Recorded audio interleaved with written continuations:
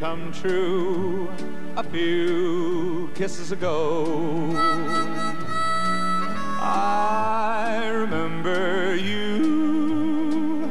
You're the one who said I love you too. Yes, I do. Didn't you know? I remember too a distant bell and stars that fell like the rain out of the blue.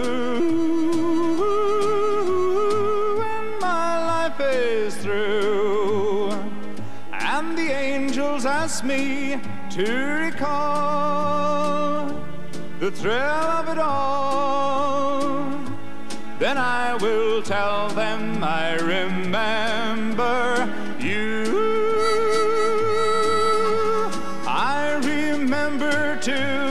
distant bell and stars that fell just like the rain out of the blue.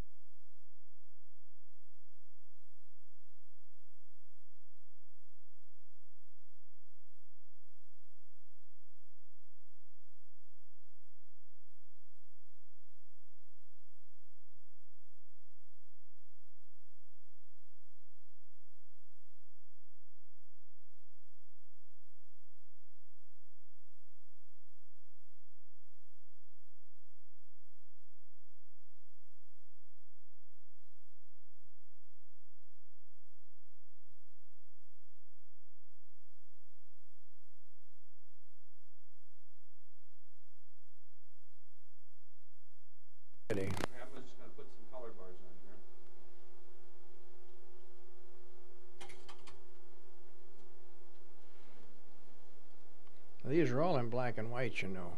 Yeah. Ninety percent of them are.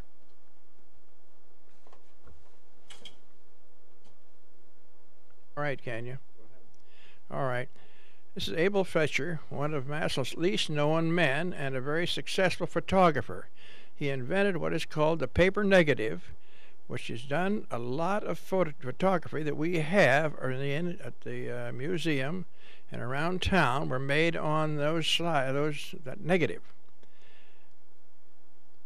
All right. Los Angeles Museum when when after Abel Fletcher died, Mrs. and Mrs. Fletcher and her daughter went to California, and out there they they said that they gave them all of his information, all of his materials.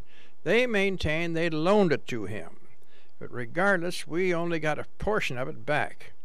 Now, on this, they maintain that he was possibly the inventor of the paper negative but there isn't any real facts on that. An Englishman has, has always received the credit for that. Okay. His studio was up on the top floor of the building with the peaked roof. That was made by the Wellmans. That was called the Wellman Block. And uh, he was in there for years. He took pictures out the front and the back windows, both directions, up the street and down the street. And it was a of course, a couple other uh, later photographers moved into that same place. Now, from that peaked roof on to the right, that is where the old First National Bank stood. Okay.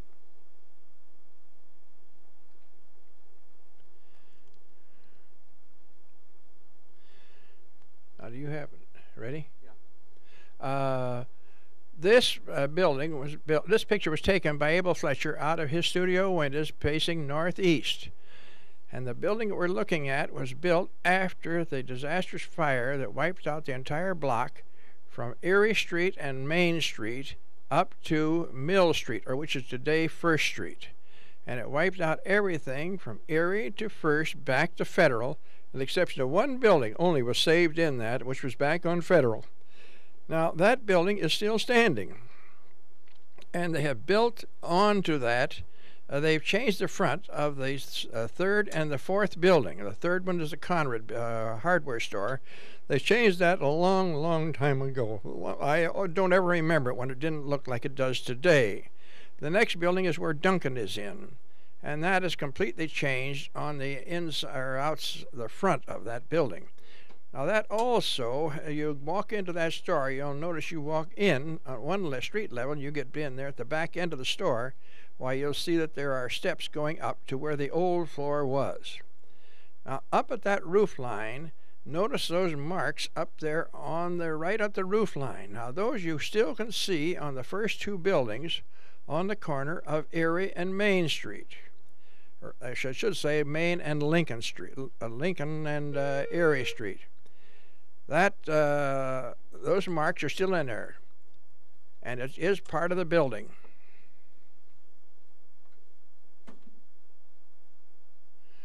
This was Abel Fletcher's daguerreotype.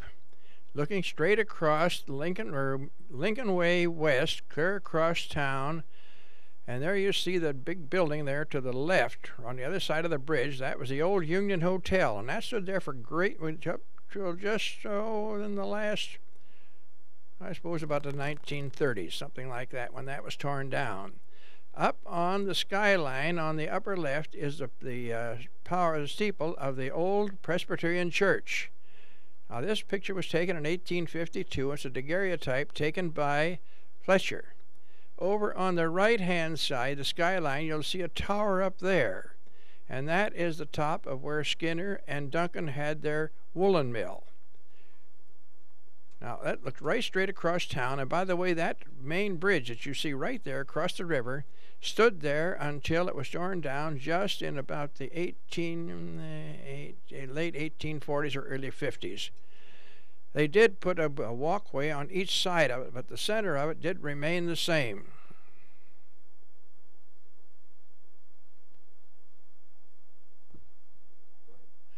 Now, it looks like these two buildings are standing side by side. They are not. The dark building is directly in back of the white building. The white building is the church. The uh, building was built by the Masons and the Methodists, and that stood right on the corner of Park Row and Charles. Now, that's hard for you to replace today because those buildings, those streets are not. Uh, the Park Row is there, but the Charles Street doesn't go through there. They built that building. The two of them, the Methodists met on the first floor, and the uh, Masons met on the second floor. The dark building was the Duncan Flour Mill or Duncan Wool Mill that was in back of them on the corner. Now, this, these were on the southeast corner of City Hall Court and Charles. And uh, Skinner and uh, Duncan were in that together. Now, that tower is the one that you saw, and that uh, the picture was taken from clear across town.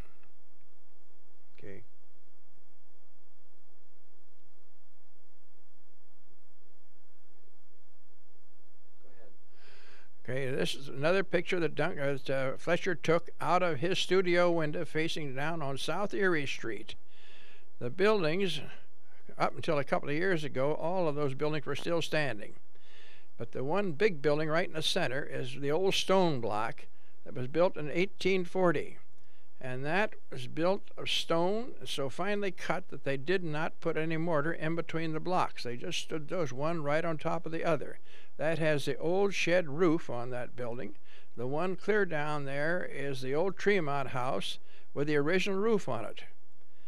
The other one on this side here was a Siler cigar store, or not Siler, uh, Swarm. Hmm. Snyder. Snyder Cigar Store was right in there. The building on this side was the old, uh, that was a Swarms, uh, uh, kind of a hotel. a little bit of everything was in that particular building. Now you look on this street, you see all these stone hitching posts going up and down the street here. By the way, those are not stone; those are uh, cast iron.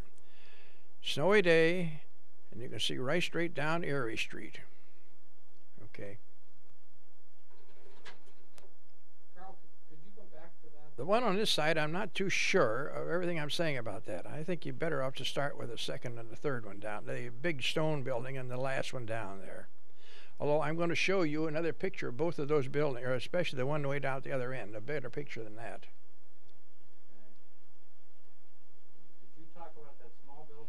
Yes, and I'm not I'm not too sure what I said about that either. That that Snyder cigar store. I'm not sure Snyder was in there at that time.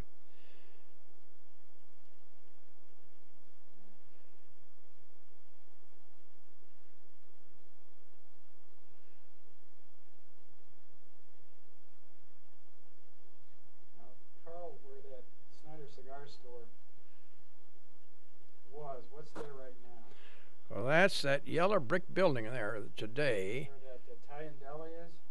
Uh, I don't know where this. Is, uh, it was up on the top of it. I think it says Bloomfield, Bloomfield Furniture Store. And uh, Eaton had their office up there on the third floor for a long time.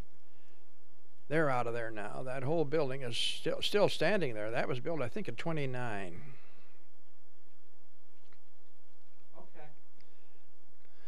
This is a later picture taken from the ground, and this is not a Fletcher picture. So far, I've shown you nothing but Fletcher pictures.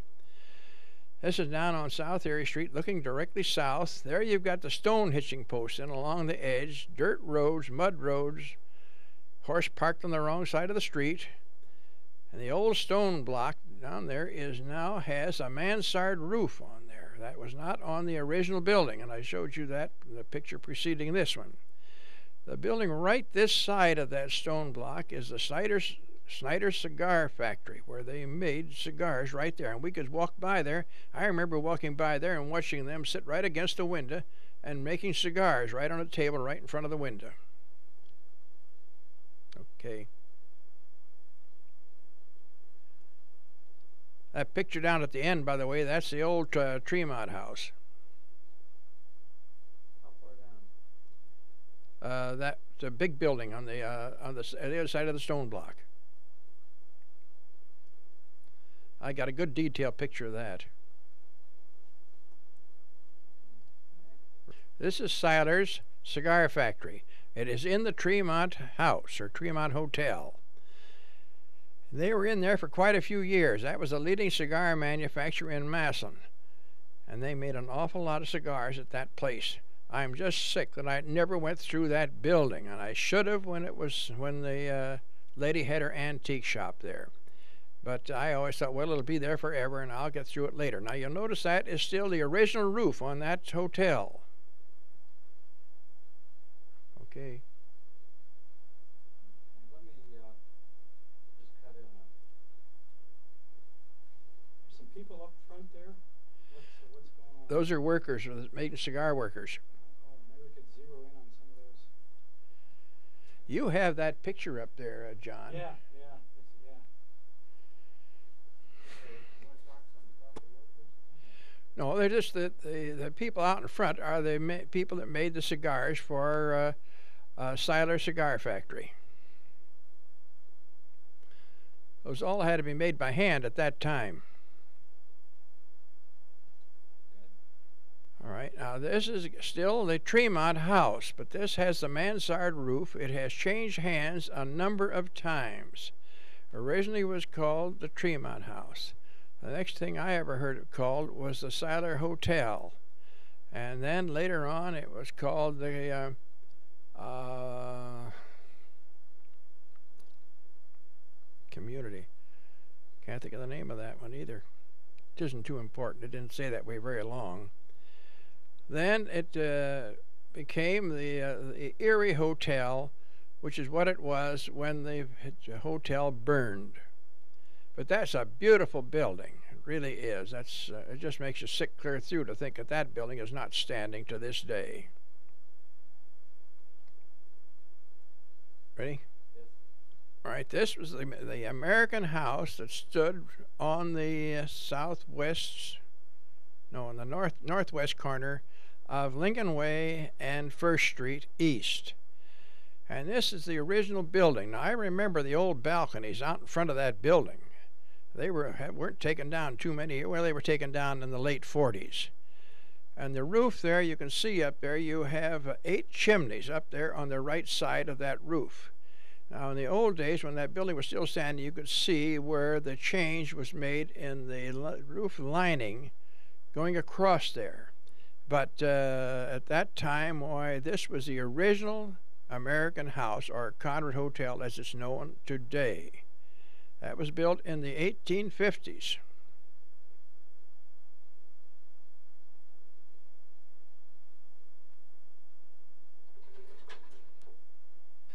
This is a Conrad Hotel the way I remembered. Now you'll see how much they added on to the back of that hotel. They added on, you've cut back eight chimneys, and the balance that was added on at a later date. And back at the end, you'll see at the, on the ground level there, there's an arched doorway. That was a uh, there was a, a livery stable back in there at that time. There was a fire in there at one time, but it was not very dangerous, and they uh, put it out. But they made the livery stable move. You see the same balconies there. You see they have now dropped in a put a porch in there with a sunken porch. And I can remember some of the women's objecting to walking down because you always had your hangers on sitting on that porch with their feet up on the rail. And uh, the women would go by there and they say, now they knew they were being talked about the minute they walked by there, but there was no other way of getting around the town at that time if you wanted to be on that side of the street. There was these, uh, uh, Henrik had a grocery store in there, and the next one, then there was a, uh saloon in there also, Myers Saloon. They were in there for years. Just a second, let me get a closer shot of that the, thing you referred to? The uh, stable? Yeah. Yes, way at the back there. Your hand's kind of covering it a little bit there. You, that's all right. Yes, the back arch back there.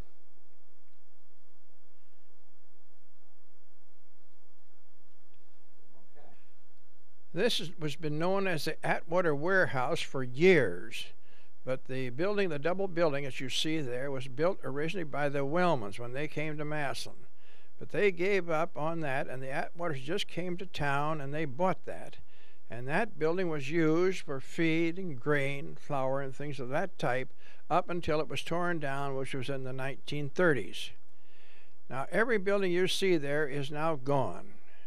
The double house, that's the, uh, the building there to the right. The next one you see is a brick building. That was out on Lincoln Way. And across the street was the old Beatty block. And that was on the north side of uh, Lincoln Way. And there is the Canal Bridge. In the line right below here, you'll see barges in here, regular canal boats. And I think that's mostly coal that's in there. Massillon was a very well known coal center back at the 1900s. The, uh, of course, this is the old canal, Erie Canal, and it was a very successful route through here uh, up until oh, just about the 1900s was when they knew then it was fading out because of the railroads coming through here. By the way, if you look on the east side of the Senior Citizen Building downtown, you'll see the outline of the Atwater Warehouse on that building. I took a picture of that too. This is a picture taken by Charlie Geis if we taken what is today, be about the second floor of the McLean or the uh, uh, Massillon building, looking southeast.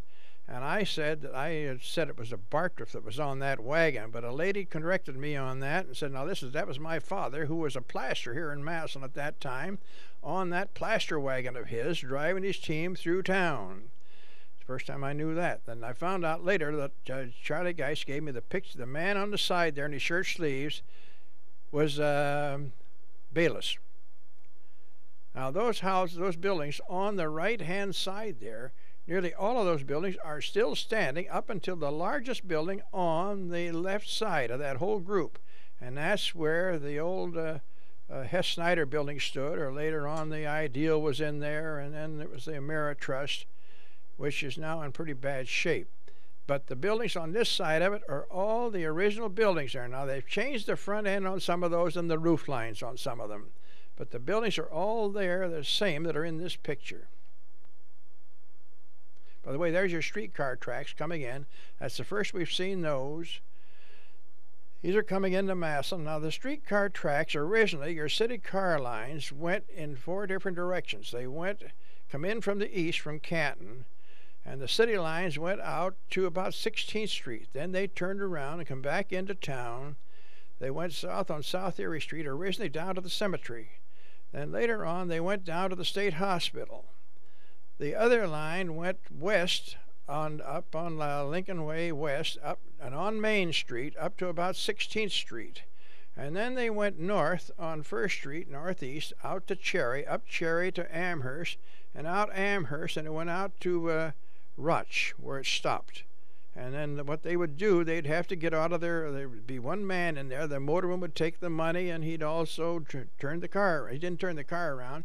He would pull the trolley down, and then walk around to the other end of the car, put it up on the line, take his paraphernalia from the front of the car to around to the other end of it, and he'd be ready to go. And they would go like that. They would have to come into the square of town, which is right here, is where they would come into. There they would pass and then go on their different directions again. The big interurban cars would come in here from Canton and they would go up, to, uh, they went up to Cleveland and come down to Canton and down as far as uh, New Philly and, and uh, De- Dennison, down through there. They were down there. And uh, they also later built a streetcar line that went out to East Greenville.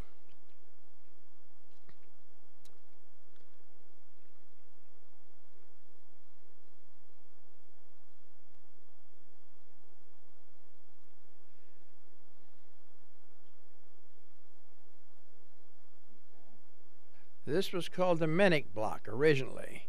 And uh, then Falks bought it oh, around 1900. Menick's built this around 1862. And uh, it was a, quite a building there. The second floor why, was where Doc Hattery, who was possibly Massillon's best known physician, we used to call him Second Peter Hattery here later on. When he got an automobile, he never seemed to take that car out of second gear. And he would go all over town, every place around here. And then on the left side of that second floor was where Doc Manuary uh, was a dentist, had his headquarters. The building up to the extreme left there was where the uh, interurbans went for years. That's where you would get your car, your street cars going, especially your interurban cars, either uh, especially go east on that. You would get it from Canton there and on up to Akron. It went up from Canton to Akron, went through North Canton. Of course, most of the time that was called New New Berlin up there, and uh, then I went to Akron and Akron up to Cleveland. Now down here in this lower right-hand corner, you'll see this large block there. That is a stone drinking trough, and it's just too bad there wasn't a horse there drinking at that time. Because they would come there and they would get they would drink out of that stone drinking trough. And why they ever knocked that down and took it away i'll never know but they did it. And that's right at the side of the park. You can see it the park's right there and there's they have torn that building down and they have the building matter of fact it's the building we're in right now is what they built in that particular place city hall taken around 1909. And by the way, there is a Croxton-Keeton automobile standing there. A man standing against a tree leaning on that. He's part of the picture. And uh, of course, the Croxton-Keeton was made here in Massillon, and at one time was considered one of the finest cars in the country. It went from it went across country also on some of those tours. It's just too bad they tore that building down because it was really a beautiful building. But nevertheless, it's gone.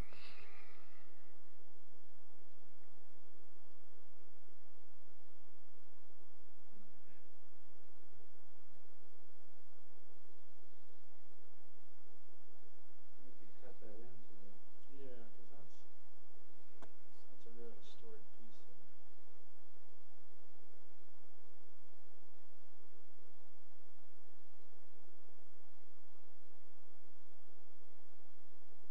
okay. Okay, this is on the south west corner of Lincoln Lincoln Way East and First Street. And that is the building that stood right there where the Hess Snyder building or Ameritrust stood for years. And that uh, building on the extreme r- left-hand corner, that was the old Kirchhofer drugstore. And I know as a kid, I was the oldest one in the family, and it was my job to uh, to go down to get all the drugs. I had to go to Kirchhoffers to get the drugs, and I'd have to go down to uh, Fisher's on South Erie Street to have the shoes sold and get to pick them up. And those were a couple jobs that were mine. And uh, not that I particularly appreciated them, but I had to do them. And the next store in there is the uh, where uh, Scheinackel and Meyer had their tailor shop in there. And the third one is the old Weffler Saloon. And that was a very, very uh, important place here in town. And I, the swinging doors there, I always wanted to go in there, but no way a kid ever get in a saloon in those days. They had a nice brass uh, banister uh, railing going up there to up about three or four steps, and uh, they had these picket pieces on the top of it. But uh, nevertheless, it was very well. The swinging doors were going all the time. Which one is that that you're talking about right now? The third one over to the right. Yes.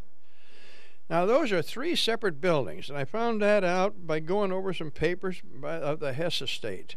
That uh, they originally bought just the the Weffler part of that, and I can I couldn't find in their papers when they brought the other two thirds of that building, but they originally bought the Weffler part of it there, and it goes clear back. Uh, uh, to the end of that building, as you can see, it doesn't go all the way back to the alley, to Diamond Alley, but it does go quite a ways back there.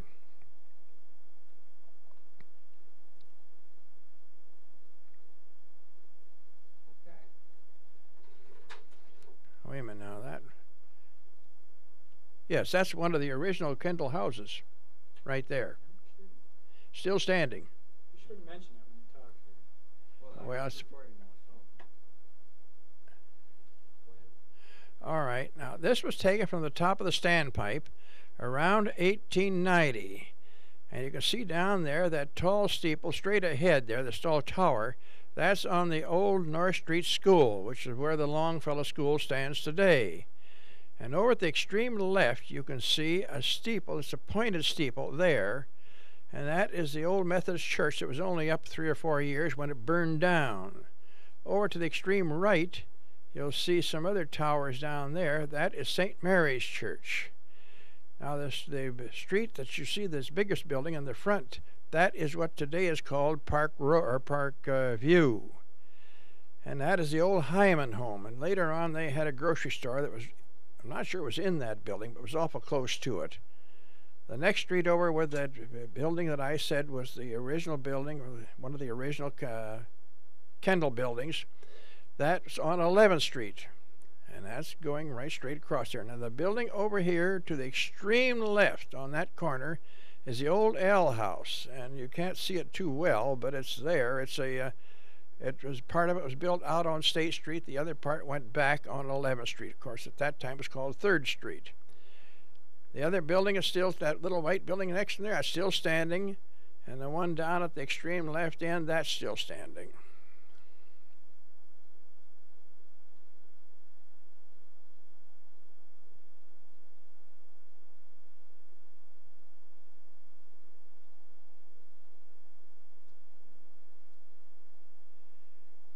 Get a cover shot. Boy, you've got a good light picture there. Yeah. Okay. All right.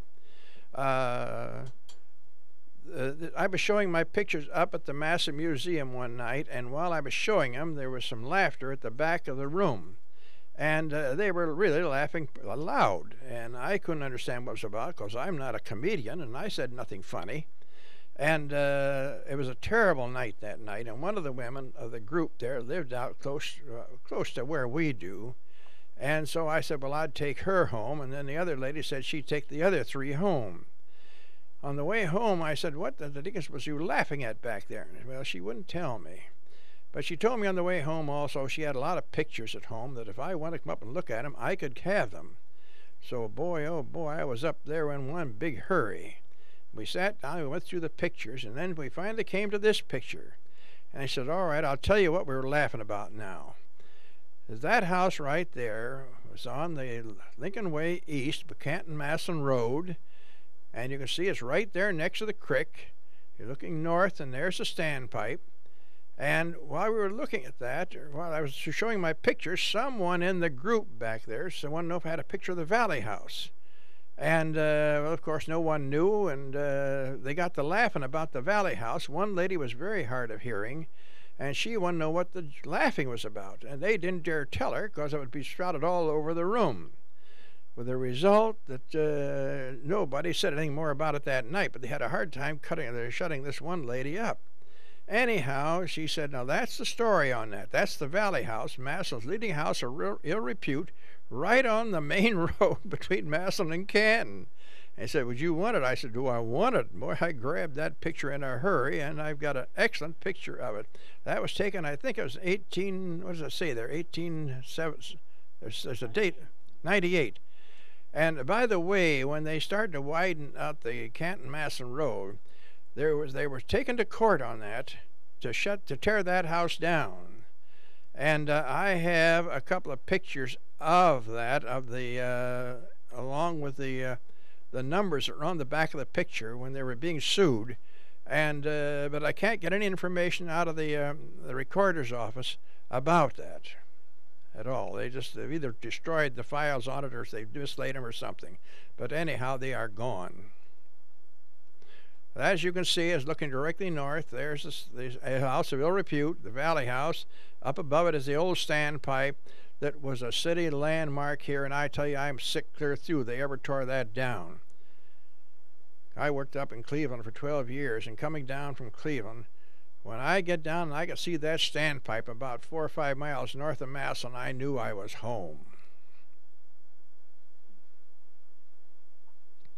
The Opera House, built in 1870 by a man named Booker, and it was considered the most beautiful opera house between Pittsburgh and Detroit, uh, east and west, and down as far as Cincinnati on the south. It was a big building, and it was had four floors. You'll see it here. There's a big wide two uh, stairs going up to the second floor, and on the third floor was the main floor of the uh, the opera house. On the second floor, of uh, the top floor there was the balcony that they also would sit up there. A very very handsome building. This stood on the northwest corner of uh, Charles and South Erie Street. Now, out there in the middle of the street, you notice that thing hanging down? It looks like it's hanging right down the middle of the side there, between the Opera House and the side of the picture. That's the old fashioned street light. That's the arc street light. And we as kids, we used to watch them for that man to come around. And he'd come around, and he would carry a little stool with him, and the legs would be these glass insulators that were on up the top of the poles up there and he'd bring that out about the middle of the street. Then he'd go over to the corner, untie a rope, and let that down. And then he would go out there and stand on that stool, and he would t- let the uh, globe down. He'd wipe that globe out, take out that old black carbon, and uh, we kids were always around ready to grab that because we could mark, mark all over the street on the sidewalks there, play follow the leader and everything else on that. And he put in a new carbon and pull it back up again, wrap the cord or wrap the rope around the telephone post, and nobody ever thought about breaking those things at that time.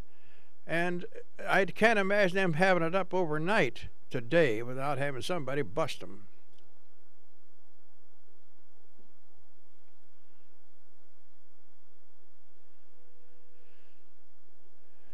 Or when did they tear that building down? Finally, it was done in, uh, Oh, nuts, I've got, they took the top floor off in 29, and they tore that down, oh, I'm not sure, I've got that written down too. Was it down by the end of the thirties? No, it wasn't, because that's when they put the parking lot in there. So even into the forties, part of it was still there. Yes, I say it was.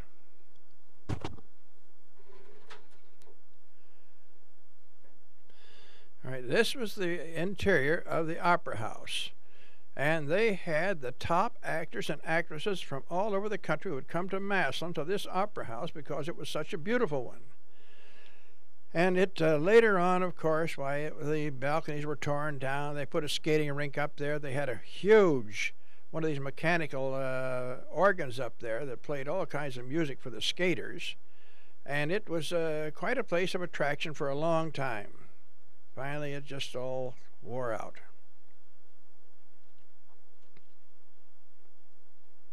This is Lincoln Way East. Looking looking east from the canal bridge. Now you'll notice there's a little hump in the canal bridge here. Right here is where the where the canal went under the Lincoln Way, and the uh, canal boats would go under there, and they could. Uh, it was high enough that they could go right under there and go straight through. Now on there's your stone hitching post on the uh, left side here, and you'll see the outline of a hat about halfway up on the extreme left side, and that was a man that had a hat store right there. Now the buildings that you see in the next block there are all still standing. Cornell is in that one building there, it's still there.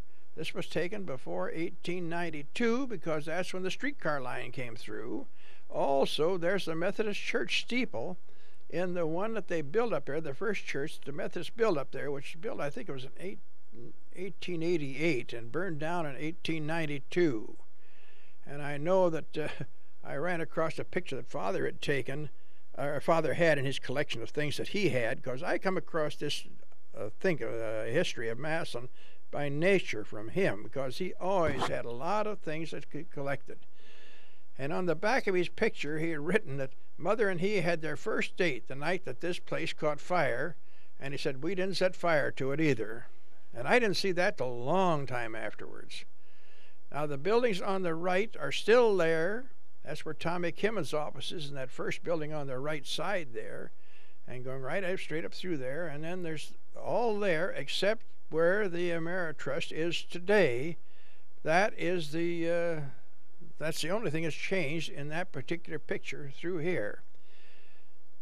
The, now, if you'll notice those crossbars on the telephone post. Now, there's only what? There's four or five of them there. And that's the way the lines are going through Massillon now, or at that time. This was back in around 1890.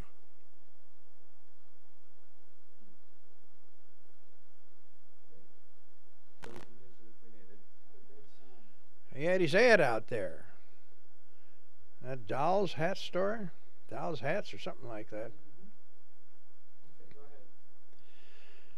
Now you're looking up Lincoln Way again, take from the same place, uh, The streetcar tracks are now in, so we're getting around to about 1900.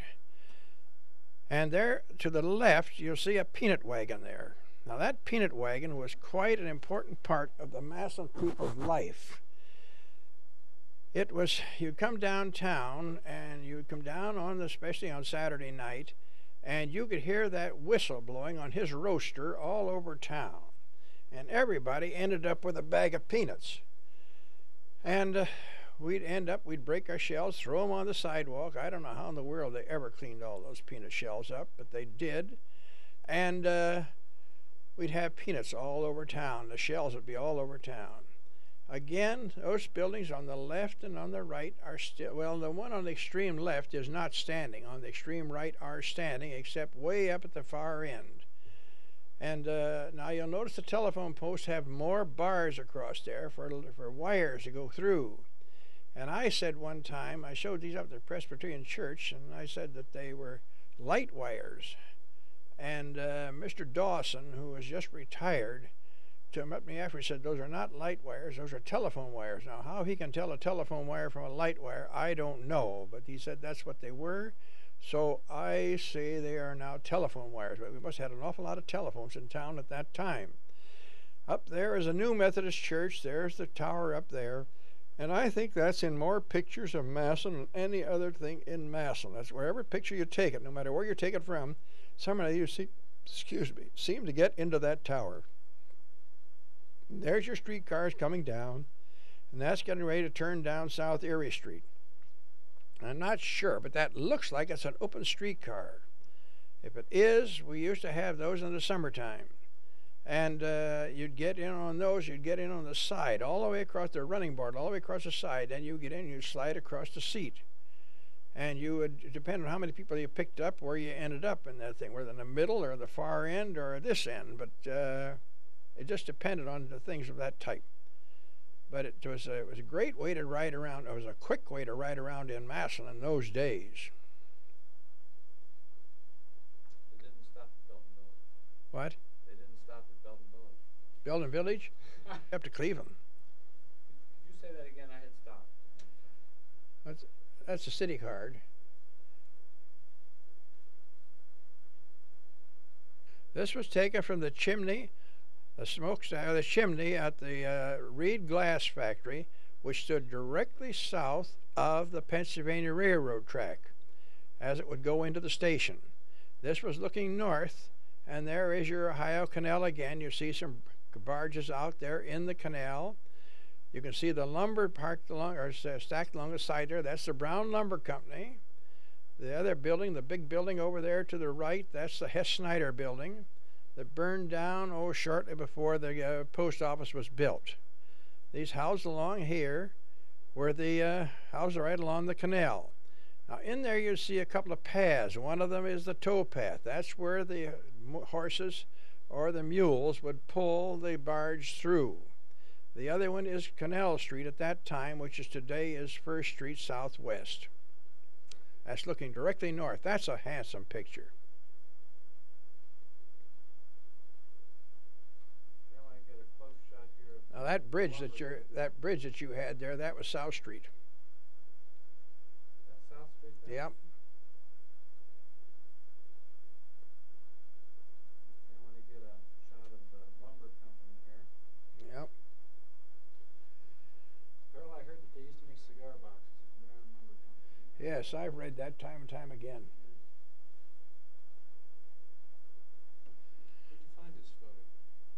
Where'd Oh, I don't know. I just found them from different places. People gave them to me, and I found them in other collections of other people's uh, pictures. I haven't the faintest idea where I found an awful lot of these pictures. This was taken by Stan Bosley, and he took quite a few pictures around town. You have a lot of those pictures of his up there at the museum. And this is taken from Park Row, or yeah, Park Row, looking directly east on Charles Street. Now you no longer can get that picture. That's all built over now by city buildings. And there is the old uh, Duncan and uh, Skinner uh, wool factory right there on the extreme left. They're taking it down piece by piece. On the extreme left here is the City Hall, and the next building over is the fire station. And up farther is the Archer Carriage Shop. Way up at the end of the street, that home is still standing. That's up on Third Street, and it uh, that's where Minnie Albright lived. The building on the right was the old Becker Studio, and if you, I have a picture of the back of that too. I'm not sure they have it on slide or not, but the back of that building is, of course, faces directly east. Is all windows all up and down the back of that. That's where he had his studio back there, where he could take pictures. When he wanted a lot of light, uh, he could take them back in there, and they really got light.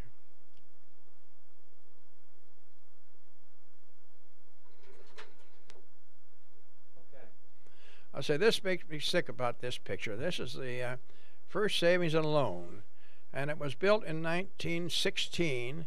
And at that time, they were on this side of that building. The other side was the Massillon Merchants, or the the old Ohio Merchants Trust Company.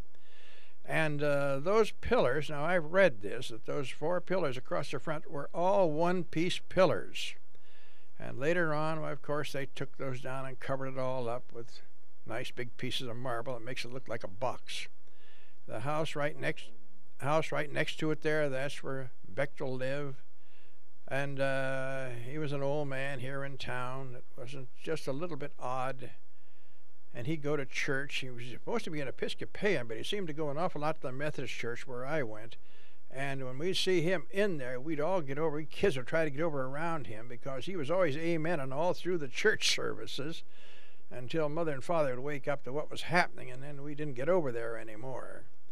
The building in back of it is the old Bamberlin Piano Factory that's in back of there, and that was torn down later on and joined to this building of the First Savings and Loan.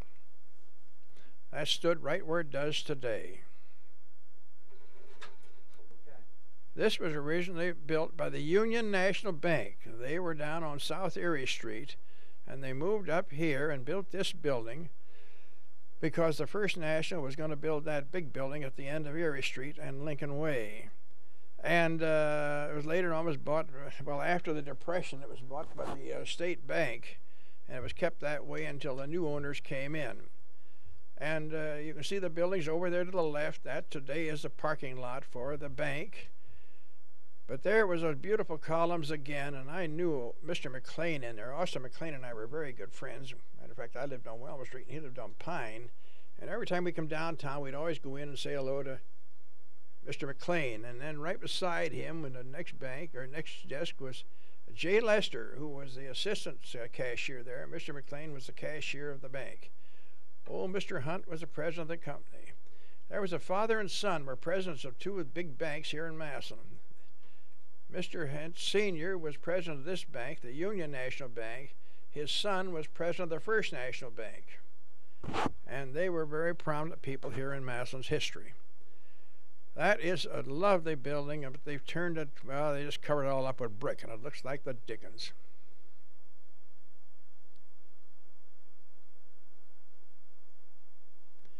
This is Duncan's second home. No, no, his third home and it was uh, built right now. It's part of the museum. It's where the uh, the present Massillon Museum is in the whole second floor, and uh, this half of the first floor plus the hallway that is the Massillon Museum. The basement is also part of that Massillon Museum. And I remember this distinctly, not like just like that. It was improved a little bit, but uh, this was a beautiful building now, I know I heard this story when I was a kid. That that's right out on the sidewalk, as you know when you walk by there. And uh, he owned the land up and down the street, and he said that he. Uh, I'm positive I remember there was a balcony on this side of that house, but it doesn't show it there. But uh, he said that there's nobody could build out in front of him in his town so he could look up and down Main Street without any obstructions of any kind. This is, the, this is the way the home was when it was presented to the Massillon Museum and the library. Beautiful building, really was given to Massillon. It was a masterpiece to be given to Massillon. And it stood right where it stands today, and along with all that land that the library and the museum is on, was part of the original Duncan. Well, Duncan more like had a lot more land than that because his barn stood up on the north, uh, no, on the southwest corner of uh, Third and Federal. Stood there until not too many years ago when they took it down. Gordon Heller had to take it down to make parking lot up there. But uh, that's that's a very very beautiful building. It was the will to the Massillon Museum when Mrs. Duncan died or Mrs. Baldwin died. Carl, do you uh, remember it when it wasn't painted? Or has it always been I always think that has been painted, but I'm not really I was not sure enough to make a statement on that. It's the old soft brick. Mhm. Walker Wright. Now his picture was in the Independent just within the last month. Did you see that picture in there? All right. Now Walker Wright was a slave down in Georgia, and when Sherman went through Georgia with his army, why Walker Wright, like a lot of the people from the South, slaves, joined the army and went with it, and he took the name of the owner of the property where he lived, which was Wright, and that's how he took the, he became Mr. Walker Wright was because he took the name of his owner. He went over to went to Georgia and then finally ended up in New York. And while he was in New York, Kent Jarvis met him and talked to him and brought him to Massillon as his yard man. And he had a home down on South Erie Street at that time that needed a yard man. And uh, either he, he was leaving town or he was getting up in years, I'm not sure which. But anyhow, he talked to um, Mr. Burton about him taking uh, Walker Wright into his employment up there, which he did, which was up on the corner of 4th and uh, Lincoln Way East. And he worked there until he died. Now, he was the nicest old man you ever met in your life. He always had that plug hat on there. He would be working out in the yard, cutting grass, digging, he'd have his plug hat on.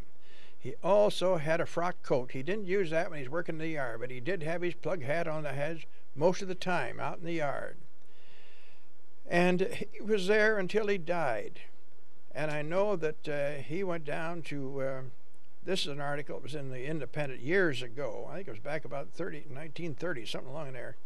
He died in 1929, 21, but he went down to Tuskegee, Alabama, to the Tuskegee uh, Institute. And down there, why he was so taken by that that he left his money, all but a small amount of it, he left to the Tuskegee uh, institution. And uh, $40,000 he left. Now, that man never made over. I don't see how he could ever made $10 a week. Really, I don't. But just the same, that's the amount he left. And he gave to the, he was Episcopalian, and he said he was like Booker T. Washington. Says when somebody comes along and you find a colored man anything but a Baptist or a Methodist, somebody's been messing with his religion. And he was an Episcopalian. He gave to the Episcopalian Church, he gave to the Red Cross, and he gave a few donations to other things around here. But the, the $40,000 he left to the Tuskegee, Alabama College. and that is in their own information in their own yearbook. That was the last place that uh, Walker Wright, Wright Walker, lived in. And he was a yard man there, and I can remember him. We'd come down, I lived up at the end of Welma Street. We'd walk down Main Street or Lincoln Way, and we see him working out in the yard. We'd always cross over the street and say hello to him and talk to him because I say he was a delightful old person that you just didn't want to pass without saying hello to him. Along with that time, you kids never walked by homes with the people sitting out on the porch without saying, How do you do? and tip your hat and keep on going down the street. And they always answered you. Was just one of those things that was a nice, nice setup. At any rate, uh, that's where he lived. Now, this home was built by the Wellmans. And again, now there's more history connected to this building when you think about it. The time, the oldest, the one daughter of his was a, a, very fine pianist, and she decided to go out to Seattle where she was going to teach music.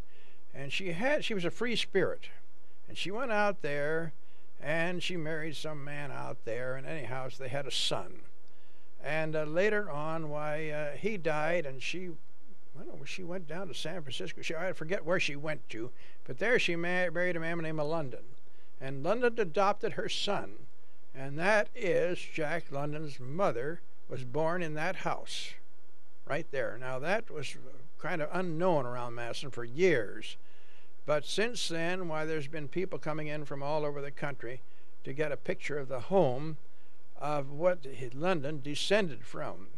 But uh, of course, the home is now gone. That was torn down in, uh, I'm guessing, in the 1950s.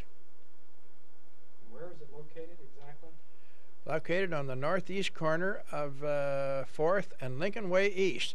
By the way, that stone, the stone block is the stone uh, ball is on. I think it's still there. It's where the mass on that hotel, where that hotel is.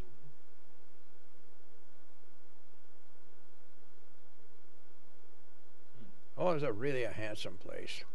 I was there was Mrs. Uh, Mrs. Johns who uh, lived beside us up on 11th Street there, and she was sitting beside me the night I showed these pictures up at the Woman's Club, and she says. Uh, she said, "You know," I said, "I went. I knew when they built that porch. Well, at that time, I didn't. I thought that porch was part of the original house." I said, "Oh, Mrs. Johns, you don't remember that?" She says, "Well, I do."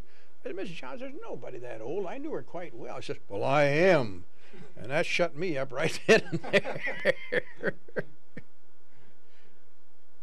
Okay, we're rolling now. You can just make those notations.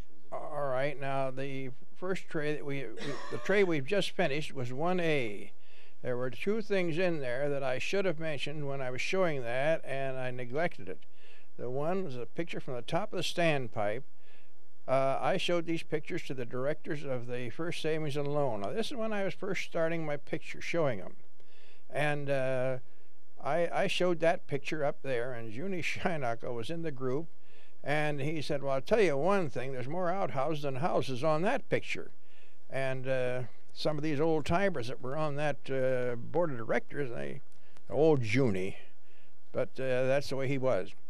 And uh, then the other one on the Wellman House out on Lincoln Way East, that was on the corner of 4th and uh, Lincoln Way, that was uh, raised in 1940 and 1954. So those are notations should be on that tray one. 1A actually. All right.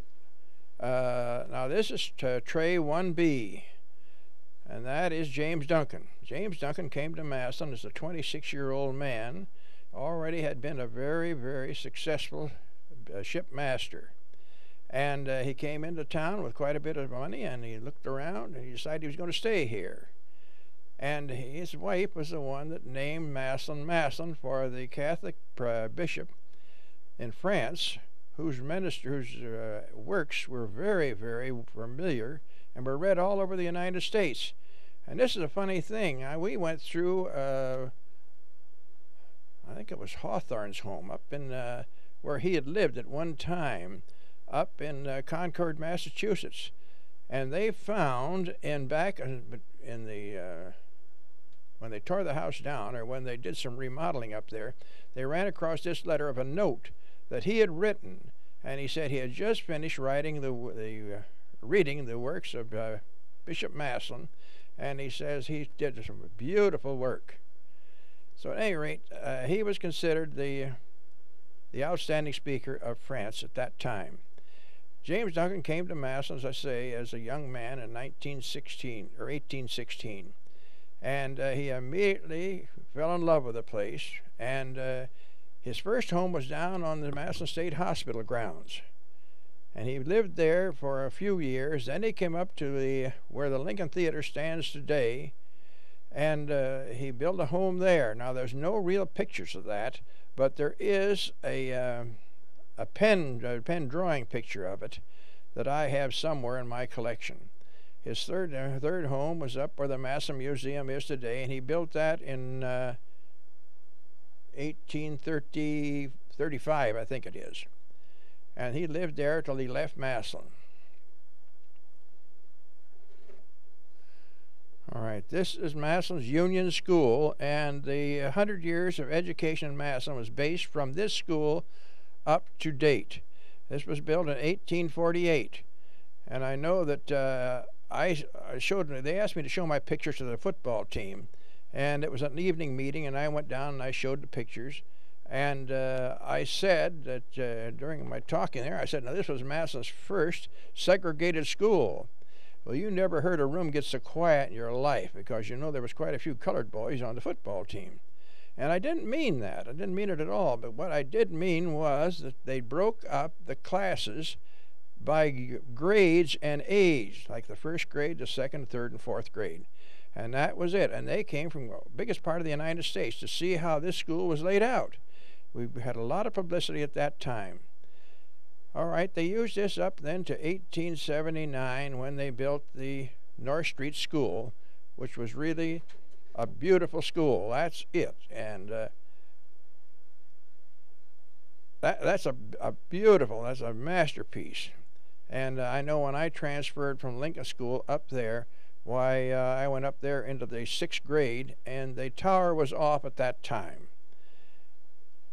Now that uh, that was they were beginning to build schools all over town, and when you think about them building that school then, and we can't even get a school passed today after the uh, the school that we have has been there since 1914, and we tore that down in 1923. This was a high school. It was built, it started school in here in 1914. And we've added on, added on, and even when I was there in the early 20s, why, uh, they they had out they had buildings around the outside on the yard, which was portable buildings for schools classes.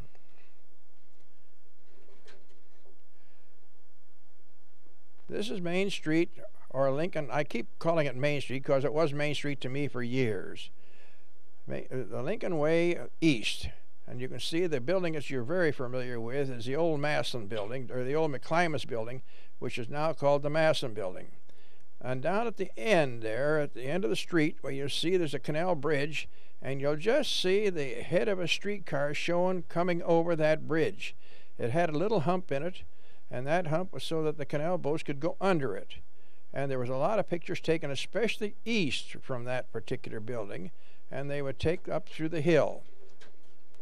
Well, what happened there? Did I hit that? Must have.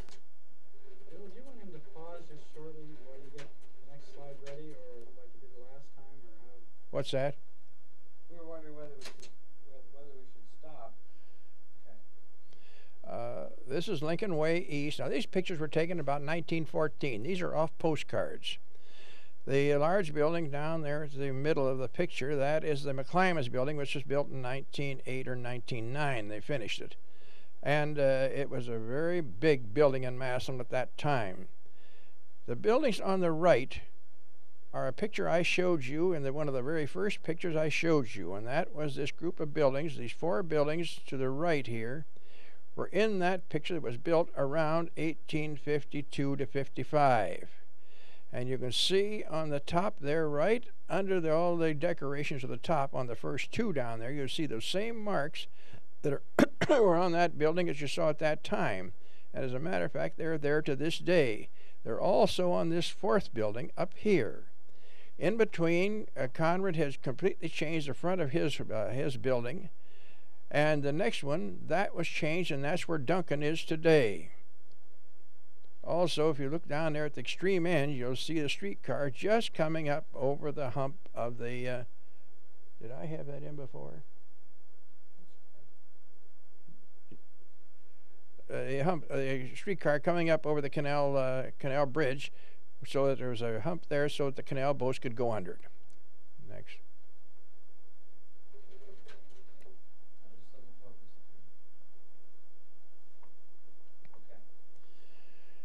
Now, and Vice Industries, this sign was put up in 1912.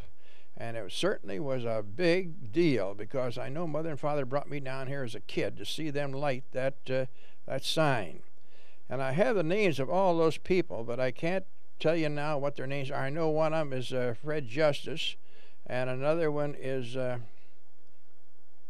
Ju- uh, Fred Justice, and the one in the middle is the Mayor Massillon. That is uh, Wise, Jake Wise. The other two I can't. The other some I can't come to right this minute. That was built in 1912, and it was there until they uh, well they took the letters off quite a long time after that, and then finally just the frame was up. And they took the frame down, I think, shortly before they put the viaduct. Or of course, this is covered with the viaduct now. And I don't know whether the story is true or not, but uh, uh, Mr. Mr. Anthony came through on a train from Chicago, and he saw that sign, and he said, "I'm going to build my plant right to build, bring my plant right here to Massillon," and that was the beginning of the uh, Massillon Steel Castings.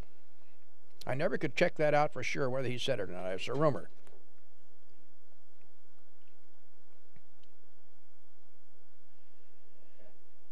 Everybody knows where that picture is because there's a standpipe, and I'm just plain sick about this standpipe being gone. But uh, this is this is the uh, the one green. They had two greens there. They had the uh, what they call the Union Green and the Charity Green, and this one is the uh, let me see. This one's the Union Green, and uh, the home on the extreme right was where Alexander Skinner lived, and he built he built that home out of the first brick home built in Kendal, and the brick was made right here in their brickyard, right down about the end of North Street. And it was a very successful place. I know that uh, Duncan was there, lived there for a short time during the building one of his homes, and uh, when the news came through that the canal would be on this side of the, the Tuscarawas River, Henry, William Henry, wanted to have it on the other side of the Tuscarawas River. He was a very powerful man in Massillon at that time. But Duncan won, and it came through on this side. And by the way, William Henry's great granddaughter was the wife of Herbert Hoover, a president of Mass, uh, president of the United States.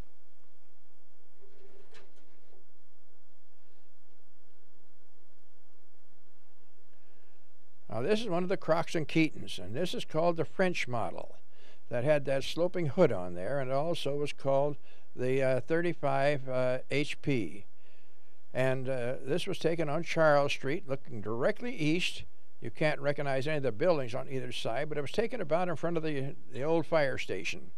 And look at that headlight, and those tires would be something to take off. You couldn't take rims off at that time. You had to take the tires off that wheel and put them back on the wheel if you had any problem with tires.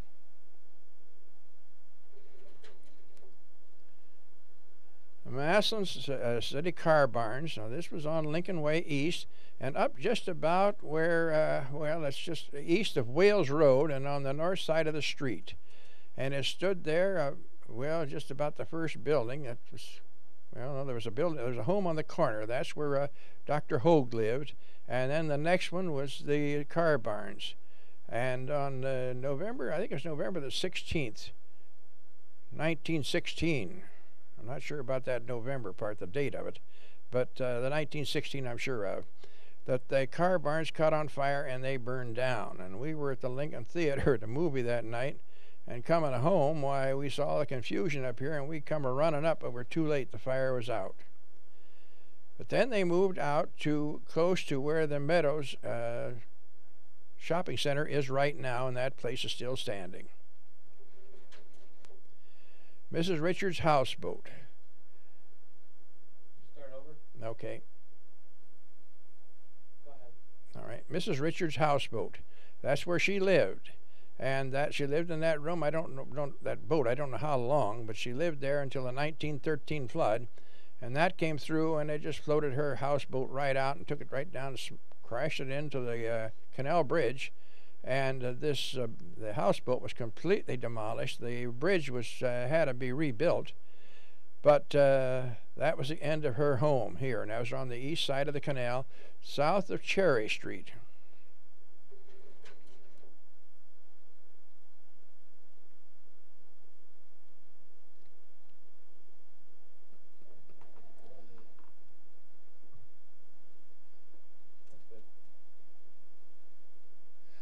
this was a picture taken by Charlie Geist. Charlie Geist was a local druggist, and uh, he was a very, very famous man around town. He was taking pictures all the time. Some of them were not so good. As he said, he was experimenting, and he could only do it on Sundays because otherwise, why, he was working. Now, this picture is taken facing south, or hold it, hold it, hold it, northwest. And uh, the white building that stands up there, the strongest in the picture, that is where Cornell has his real estate office now, which is on the northeast corner of Lincoln Way and Erie Street. Now, his picture is entitled, uh, I think it's two interurbans and five or six city cars and a mail truck at 4 o'clock in the afternoon.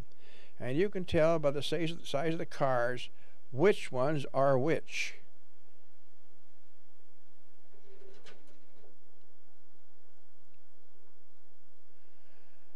This was where uh, Sears, where later uh, later on this building was torn down for Sears store. In there, Warren Russell for running for Congress, and the cars that you can see around there. This picture was had to be taken in the 1920s.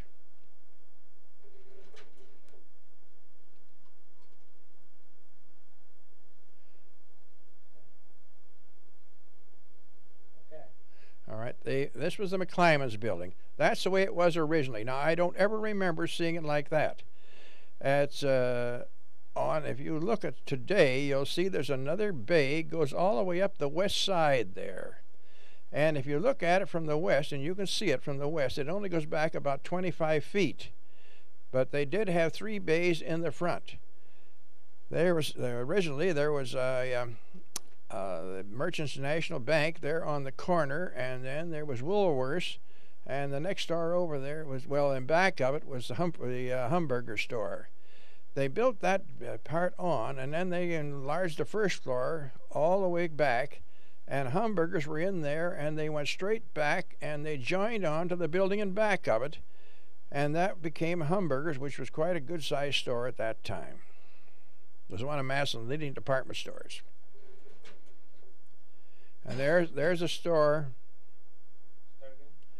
There's a store that they joined on to in back of. This is before they did that. That's when the building was first built. This building was built, I think it was 1885. And the Massillon Post Office moved up to the last building up there to the last store room up there to the right. That's where they were located. and you can look in back of that, on each side, and you can see the canal comes right down in back of that particular building. Karl, could you go back to that again and let me, I just want to pan across the. the bottom thing.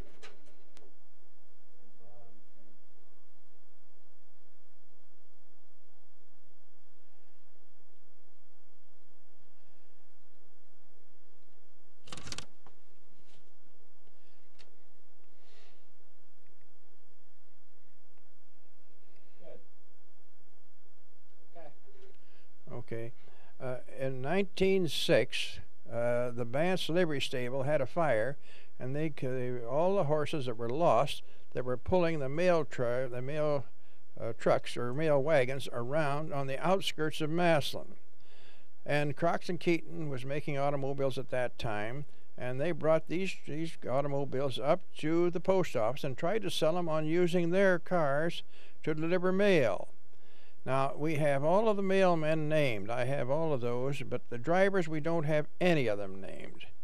And at any rate, these, the, uh, the, the post office wouldn't buy the cars. They went back to the horse and buggies again. Those, those are Croxton Keatons? Croxton-Keeton.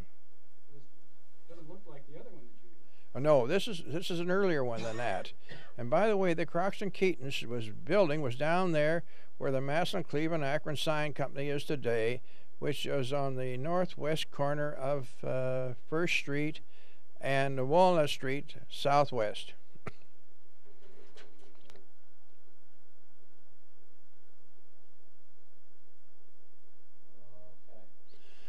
This is Lincoln Way West, looking right straight across town. And by the way, you can see right on the skyline there, on the line with these telephone posts on the right, you can see the tower of the Methodist Church. So we know that it was after, uh, it was around 1900, something of that time, that this car line went down through here. Now, on this side of the river was the B&O and the Wheeling. On the other side of the river was the Pennsylvania. And you could make a bet with anybody in town here and tell them they couldn't get up to here and up to the forks up here, which is Main Street and Lincoln Way West, and get back across town again without getting caught by a railroad train some way or another because they were going through here all the time, day in and day out, night time, right straight through.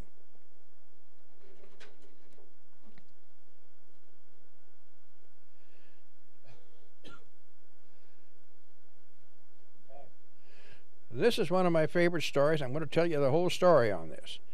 In uh, 1918, I decided I was going to get a job, and I hunted all over town for a job, and I just didn't find a thing. So I went home. I told my dad what I was trying to do. He said, "Well, now listen, if you really want to work, and you'll promise not to fool around, said I can get you a job as mail boy down at the Rustling Company." And boy, I jumped at that. So I went down to the Rustling Company, and I was hired immediately, of course, and uh, I got 10 cents an hour and I worked 10 hours a day for five days a week and a half a day on Saturday. And they, uh, I worked that whole summer, and then I went back to school when school started. And in the fall, why, uh, the flu pan hit Massillon, and it closed up everything. They closed all the churches, all the theaters, anything of that type at all. The only thing that was left open were I don't know whether all the, the grocery stores were open or not and the factories. Other than that, there was just nothing open around the town. So uh, father said, well, I was moping around the house, and father said, well, if you want to go down and work as a mail boy, you can, because he's home with the flu. So I went down and I worked all that particular time. One of my jobs after I made my daily morning route of the mail was to go up to Bert Hankins' cigar store and get Mr. Hagem's Pittsburgh Dispatch paper and uh, I would go up there and get it, turn right around, and come back down again. And what I would give to have a picture of that alligator he had in a big tank, and that originally was just a small alligator, but it finally it got to be a doggone big alligator in that tank right in his front window. So uh, at any rate, the uh, this one time, because this is on my way back after my first round, uh, Mr. Higgins wanted to know what was going on. I said, well, I couldn't tell him anything at all. I said, I know that the whistles are blowing and the bells are ringing, but I said, other than that, I don't know. He says, go up get my Pittsburgh Dispatch, and then you can take the rest of the day off. Well, boy, that was the fastest flight in history. And so I went up there and got his, his Pittsburgh Dispatch had been sold by some mistake of some kind, and I brought him back a plain dealer. To me, a paper was a paper. And Mr. Hagen opened that up, just sat right there, opened it up, and took it and threw it right in the wastebasket and scared the life out of me and told me to get out of there, which I did. And I got out in the out, outer office. Well, there was Johnny Williams over there. He was a good sized fat man. Back in the corner was Mr. Kinney. And they wanted to know what happened, and I told them, and Mr. Uh, Williams, he just laid right over his desk and started to laugh. And I could still see him, just his stomach just rolling back and forth as he was laughing. And Mr. Kinney back in the corner was a quiet man, and he was laughing too. So uh, Mr. Williams told me to get out of there. He knew I was supposed to take the rest of the day off, which I did. In the meantime, I'd brought back the word that the war was over. And uh, I went uptown and watched all the excitement. I went home. When I got home, my father and mother were sitting there, and they were laughing. And I knew very well they were laughing over that paper, and I wanted to know what it was, and they wouldn't tell me. So, uh, any rate, when father went back to work, why, uh, mother said, Well, now listen, I'll tell you, but don't you dare tell your dad I did. He says, You took him a Democrat paper, and there was never a word of truth ever written in a Democrat paper. so I'll never forget that as long as I live. And uh, at any rate, the war was not over. That was a fake uh, armistice. Now, there is their thrashing uh, division. You see, they had two divisions the thrasher and the engine. Now, this was the engines that pulled the thrasher from farm to farm. And some of these people, they had, they bought the, the uh, owned the thrasher and owned the uh, engines, and they would drag these around. They would have a special time to go. And uh, my father was superintendent of the thrashing division under Mr. Hagem, who was the general superintendent. Now, this is a parade, a get together parade on that first day. Hey, can I, s- can, can you pan those, uh, before? Yeah. That'd be okay. Sure. That last slide, can you go back one slide? Yeah.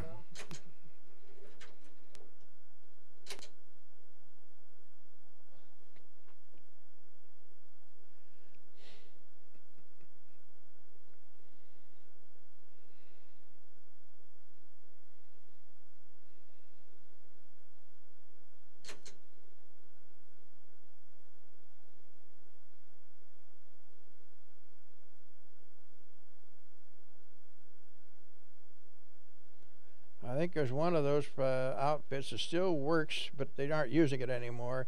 And that's out on the Fosnot Farm, out on uh, 27th Street, just at uh, about 12th Street.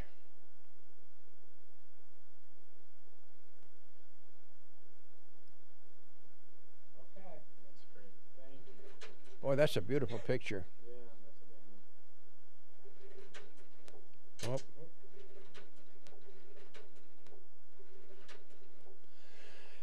This it.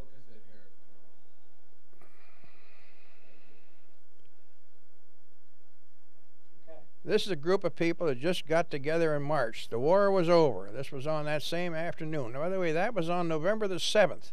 That was on a Thursday. And uh, they were marching all over town. You can see it wasn't very well organized. There was just a group of people up there marching around. And it turned out later that it, that was the fake Armistice Day. Matter of fact, we knew it that night. Now, on the. Uh, what, by the way, the flu ban was canceled then uh, after that particular weekend. And we went back to school on November the 11th, which was on a Monday. And uh, it wasn't very long after we got there that uh, the you never heard such a racket as your life. There was uh, bells ringing, whistles blowing, and automobiles running around the streets there. And they were backfiring their cars. I wonder how many of them lost, lost uh, mufflers on that because they really made an awful lot of racket. And anyhow, the teachers seemed to know that there was no use trying to keep we kids in school, so they let school out that particular day. And we went downtown, and that time, why the the parade was better organized.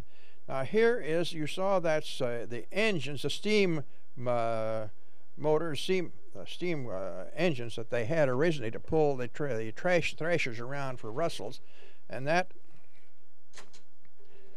that's when they tried to compete with some of the new ones. That is a gasoline motor there.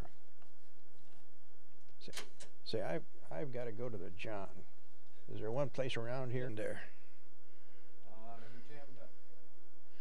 Oh, How do you free this up? shouldn't have been. Turn it off. Uh, now just pull that lever out on the side there. And this is the Red Cross workers.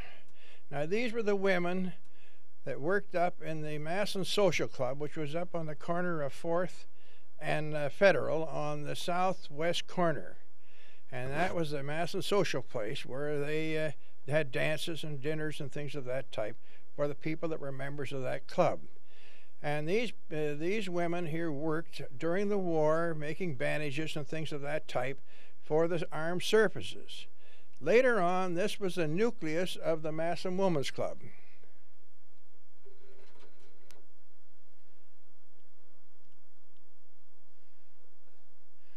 Peerless Drawn Steel. A lot of people around town have forgotten all about the Peerless Drawn Steel. That was the originator, or the place where the Union Drawn Steel now stands down on Sipple. And it is, as you can see, this is a real Armistice Day parade. They have their truck all decorated and they're out to celebrate.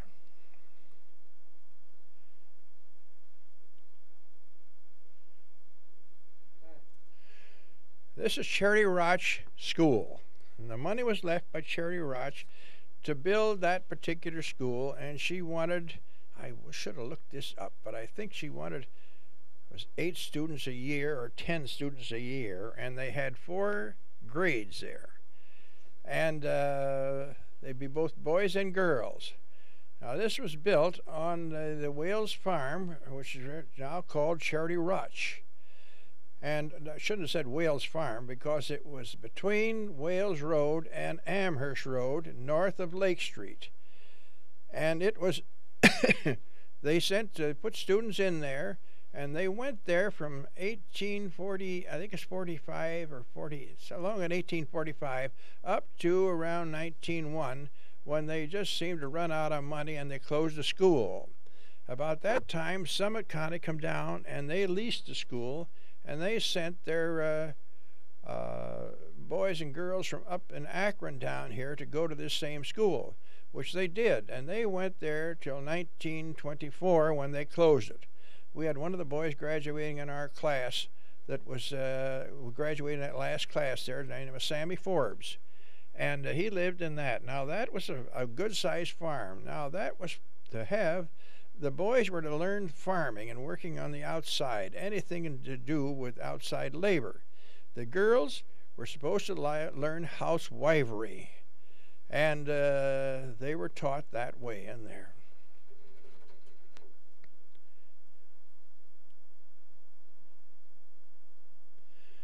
Now, this picture was taken from the tower, looking directly southwest. And that street that you're seeing run crossways there, that is Lake Street. There are a couple of those homes that are still, most those homes are all still standing as you see there. And that's 11th Street that runs down there that looks like a track and that's what it is. No, it isn't, because 11th Street is where that, uh, between those two houses over there, that brick house on the right side or left side, and the uh, white house on the left side. Or wait till I get my directions right. The brick house is on the left side, the right, the white house is on the right side of 11th and Lake, and they are both still standing. And the uh, 11th Street come right down an extension of that particular road.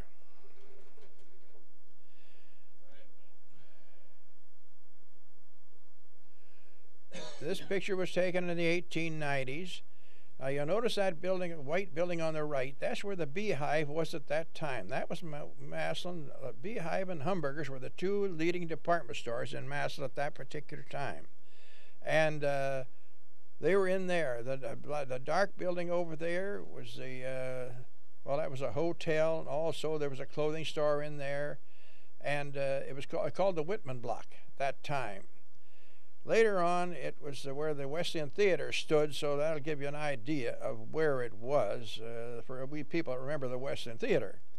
This is a street fair. They used to have a great many of these around town. They would have them about every year, and they'd have a parade, and then they would have that fair would be up on Tremont Street between Erie and uh, up to about Erie and Second Street, and they would have things built all along the side up through there.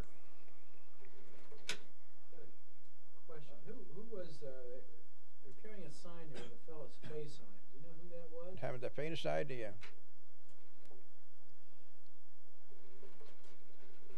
Oh, wait a. Oh, wait till I get it back again. What's the matter? There's a sticking up at the other end, I'll bet you. Pull those, pull those slides in.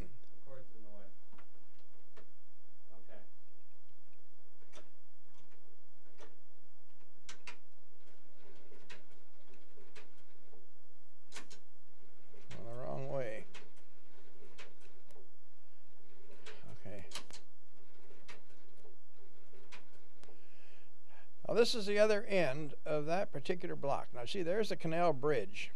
Oh.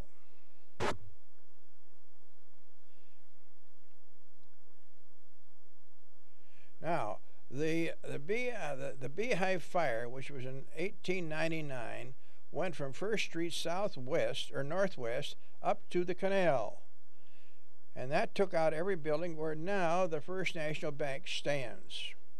Every building in there was wiped out back to the to uh, Federal again, and it was a complete wipeout. This uh, this building on the right or the left side there went along with those. Now you can see that there's a hump in the canal bridge. See that uh, streetcar going up over that hump right there.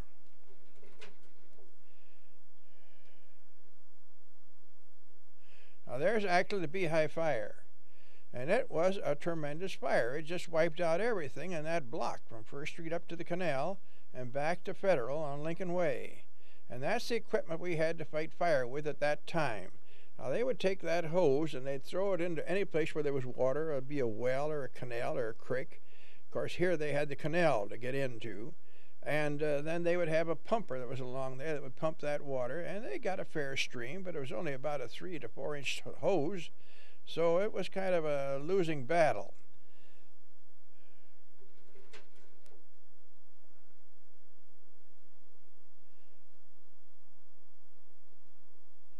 There's a beehive as it was. It started up in about 1901, and it was on that. Uh, and see, all those buildings that are in there are new. They're after the beehive fire. The beehive had the big building, and then the other two, there was a Pilley building and also a um, what the dickens was that lady's name? G- uh, Mrs. Gow. She owned part of that too. And uh, but Massillon at that time, this was the leading department store in Massillon, was the Beehive. Humbergers was around here also, but they uh, their building was old. It wasn't anything like this one. This is the window glass factory. Just a second, Karl. Could you start over? Yep. This is a window glass factory in in Massillon that stood down on the south side of Walnut Street, and uh, on the uh, between now there's the river they're going to see here in the front. That's the river. It's between the canal and the river, and up on that skyline there, do you see this one tower up there? It's just above the uh, how the uh, skyline. All right, that's the old St. Joseph Church. The extreme left there? or Yes. Way up, well, no, not the extreme left. It's about halfway up there. In the center?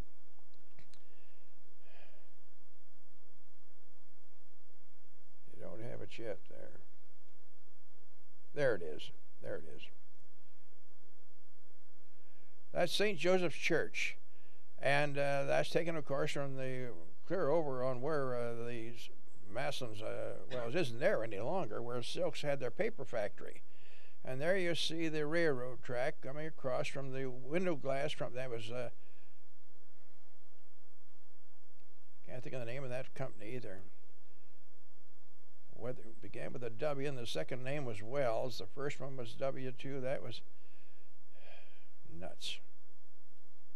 That isn't right.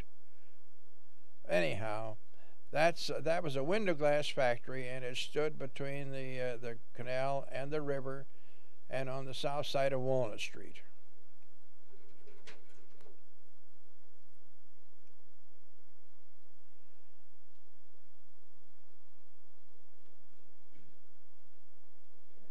Now, nobody can visualize something like this. This is how we had to listen to football, baseball games, and price fights. We go down to the old Independent, not where they are now, but where they just moved from. And there'd be some man stand up there over that arch and had a doorway there. He had a megaphone, and he would call out and tell us exactly what was going on. And uh, I can't tell you what kind of what type of weather it was, because there's fellas in overcoats and there's a man in shirt sleeves. I think it must be in the fall, so it could possibly be a World Series, or it might have been a price fight. I don't think it could have been a football game, oh, it is a possibility. Uh, Jim McCormick used to stand up there. I can remember him as a kid. He would stand up there and he'd call out exactly what was going on. That's the end of that one.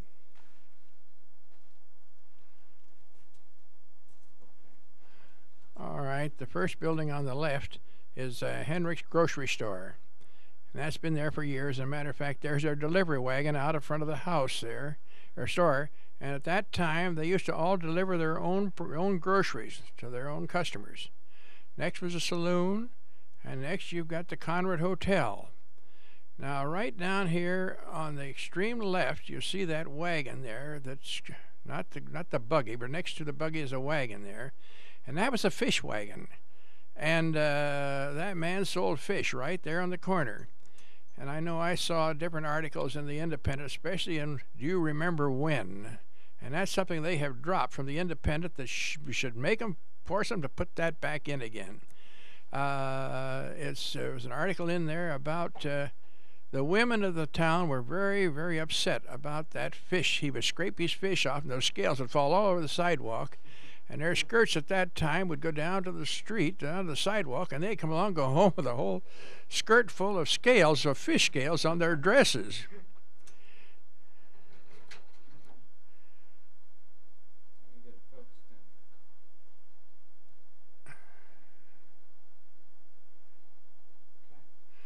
All right, there's the Pennsylvania Railroad Station at that time. That was quite a busy place then.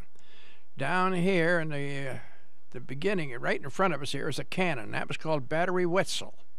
And uh, whenever it started, they would wait until that thing would shoot, and you could hear it all over town. And when they did that, everybody knew the parade was going to start. And uh, right next there, where those flowers are growing, originally that was a fish pond. Keep going. Keep focusing.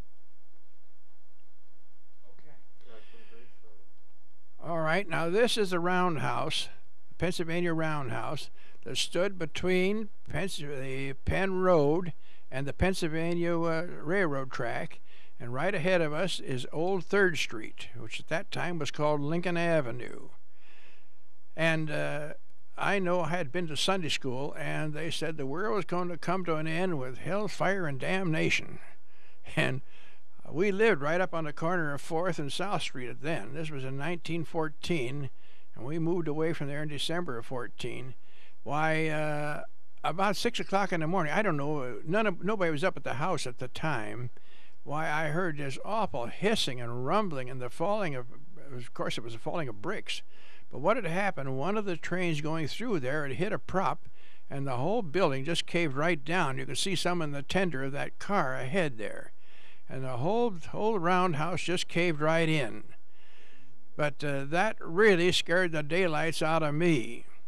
The building there with the awning in front of it, that was old Russ's grocery store, was there for years. The other side of it was the once saloon.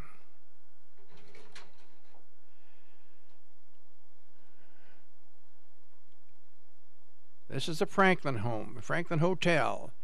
Now that stood on First Street Southwest originally called Canal Street. And uh, this was taken from Abel Fletcher's third floor studio, looking west. Now, anybody on the west side, you see how heavily populated that was over there at that time. We have to guess on when this picture was taken. We say around the 1850s. It was built in 1821, and it was there until it was torn down in 1922. I think it was torn down. Uh, Thomas uh, Thomas Webb was the first manager there of that hotel, and then he left from there and went to New York and Philadelphia managing hotels.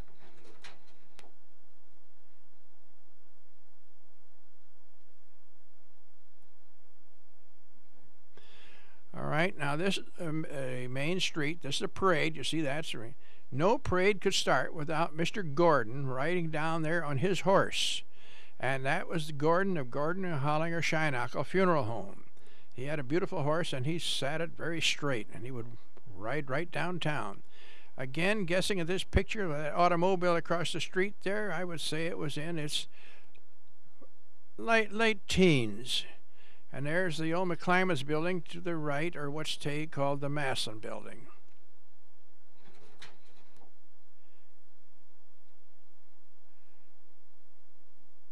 The Wellmans came to Massillon in around 19, er, 1820, uh, 24, 25, something like 26. They do, came, I think, it must have come right after the canal was built, which was around 26. And uh, they built these warehouses right on the side of the canal. That was built on the east side of the canal. Now, on that, they came here at that time and they sold the, uh, the warehouses to the Atwaters who ran it then till they tore it down in 32 or 33. And this was quite a place. This is a 1904 flood, another big flood in Massillon. That's a Schuster home on the other side of the street.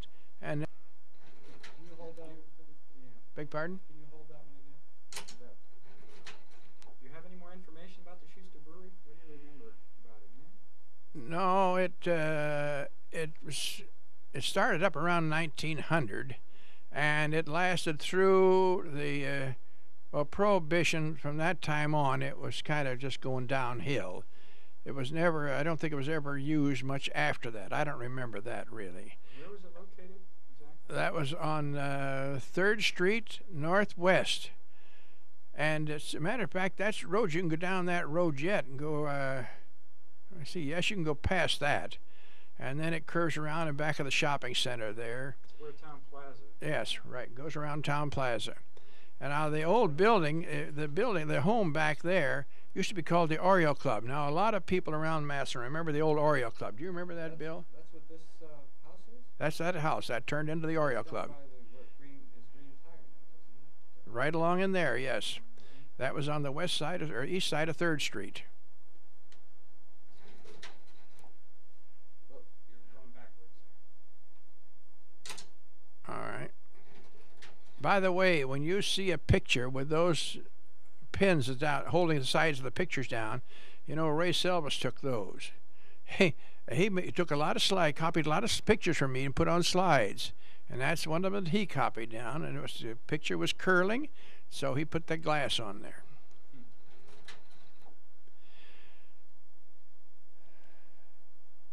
This was built by Massillon Men as an athletic club, and uh, it was built around 1906. Had a swimming pool in the basement. The first floor was a running track, a basketball court, had all kinds of equipment there. Then they had a running track up on the second floor there that you could just run all the way around there and look right down on the basketball court. Uh, they used that till about 19, about 1914. Why, or maybe no, it's back a little bit farther than that. I'd say right 1912, when the high school bought it as their gymnasium, and they kept it and they put it up for sale in 1916. Now the home that's in front of theirs is Dr. Metz's office. Dr. Metz was possibly the most famous eye surgeons in the biggest part of the United States at that time. He, they people came from all over the country to have him remove cataracts, which was comparatively new. And he had his office right there, and but it wasn't standing there. It was a little bit to the left, and they moved that over in front of the building as the office to the building.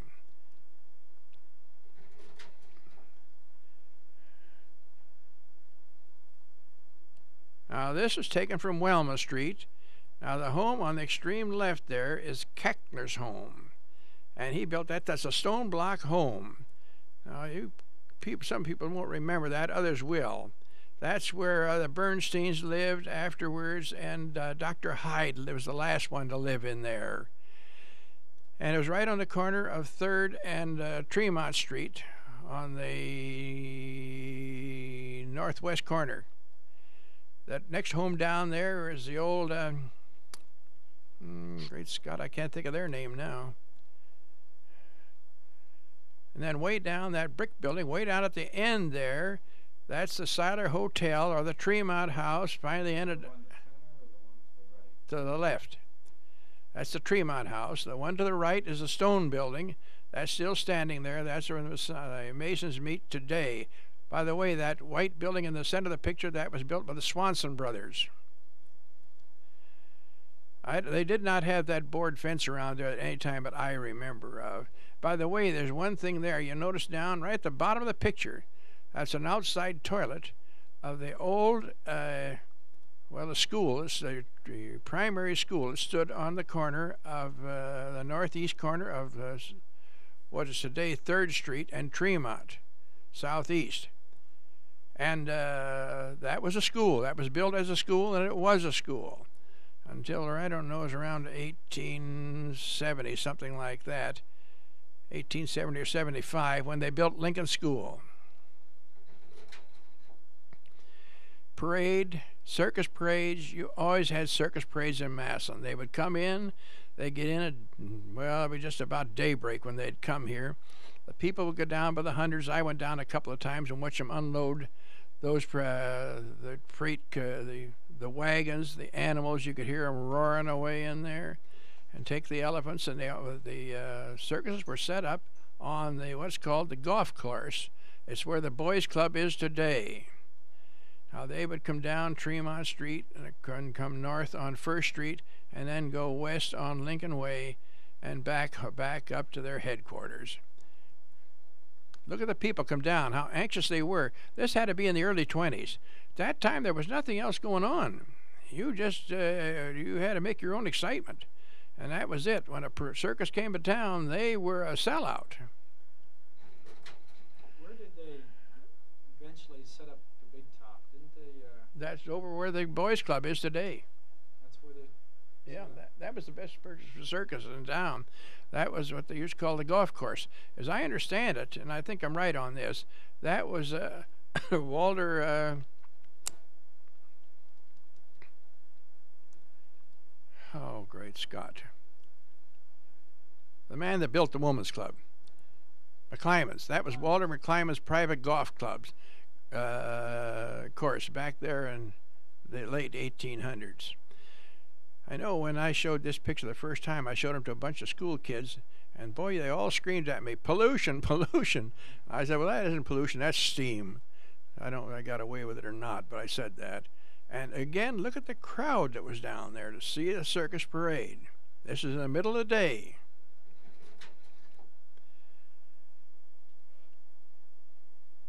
This is Becker's uh, grocery store, and this is on Erie Street North. The man there with the plug hat, that is Bobby uh, Bobby Folger. Now you're gonna. Bobby Folger was a very important man in Massillon's history. He was a mayor of Massillon twice. He's a very prominent attorney, and uh, his father was a sea captain uh, sailing out of uh, Nantucket, and he's the one that first found the survivors of the mutiny on the Bounty. You know, they went to an island there and they burned all of their ships so that nobody could go away and tell where they were. At that time, the only ones that were left were just young kids. No, there was nobody there to go down and get them or anything like that because they had nothing to do with it. Just the descendants of the original ones that did that. Uh, there's uh, Mr. Becker over there, right to the right there of the entrance of the store. Where was this located, Karl? Uh, that was on uh, North Erie Street, and it was back about. Uh, well, there'd be a shoe store in there today, or there was at one time. The back of the uh, where Cornell's building is, and it's be about the first or second building, and back of Cornell's building.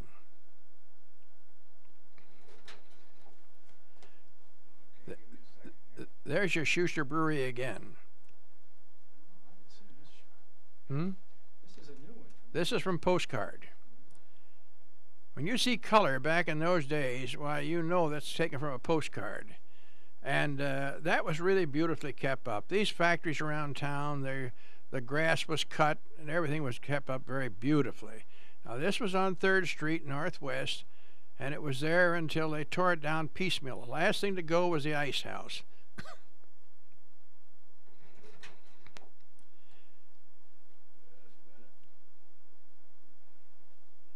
Look at those horses. Now that is how they used to deliver uh, beer. They deliver in kegs, and uh, on that the the driver would get out. They were always big husky men. Those drivers were.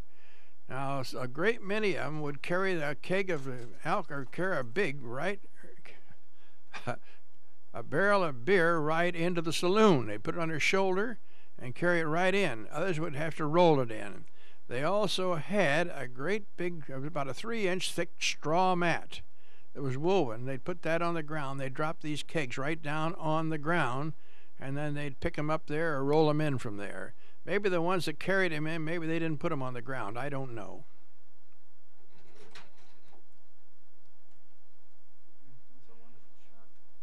That was, this is one of my classics here. This is Swarm's grocery store. And uh, there's the, the men, there's Mr. Shantz on the left there. And I know I sold him a carpet when he was 94 years old. I was over at R&J. And they said, we don't want to take that on a 90-day charge. That's what the girls in the office said. They said, he may not live that long. I said, don't you worry about how long he's going to live. So they went ahead, of course, and took it. And matter of fact, a couple of years later, there was a piece in the paper in Massillon here that he was going to go take a trip over to Switzerland, where he was from. Now, this is a picture right there. The Swarm grocery store stood there, was there as far back as I remember. Later on, that became. Uh, what the dickens is those boys' names? They had. There's still one of their name, one of their grocery stores out on Tremont, or on the uh, Walnut Road out there. And uh, they were brothers. They were twins. Oh, uh, Who? Schrader. Yeah, Schrader bought this. And I don't know exactly what's in there now. But the thing I can't get over is that sausage hanging over that rack out there.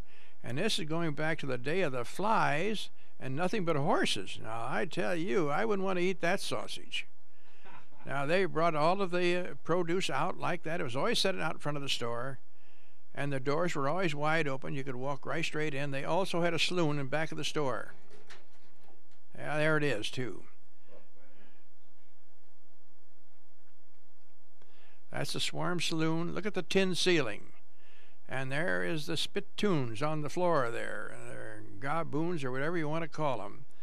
And uh, there's your bar, bar. That's a big bar long. That's a long bar. A lot of saloons in town? Oh, there was an awful lot of saloons in town at that time. And I know they were connected, many of them were connected with grocery stores. And the women just screamed around town here about that. Their husbands would go in there with their paycheck and they get a few groceries and then they go back there and maybe spend the balance of their money on drinking. But they finally, most of the grocery stores, well, they closed up the saloons. Karl, could you go back to that for just a second? I want to get a close-up shot of the ceiling.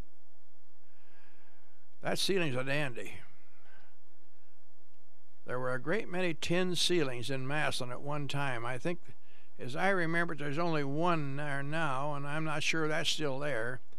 And that's where uh, Meek Segner's were in their basement. There was a barber shop down there, and they had a tin ceiling in that barber shop.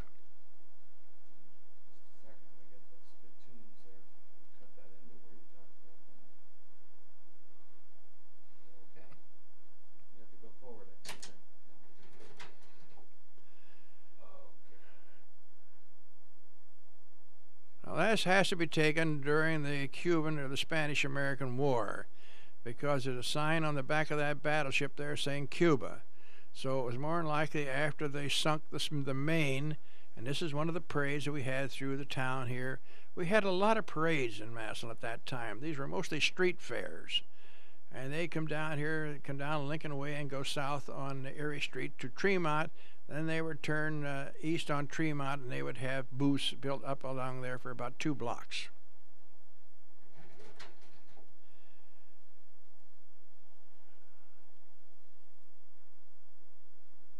This is an 1882 picture. And the reason for the picture is that the new parish house that's built right beside the church. That was built in 1882. The church is the original church that they built. I'm not sure the exact date of that. I think it was around 18, 1832, 34, something like that. And they, uh, in uh, 1890 or 92, they were going to repair this church, but they found it was such bad shape that they decided to tear it down and build the present St. Timothy Church on this same spot.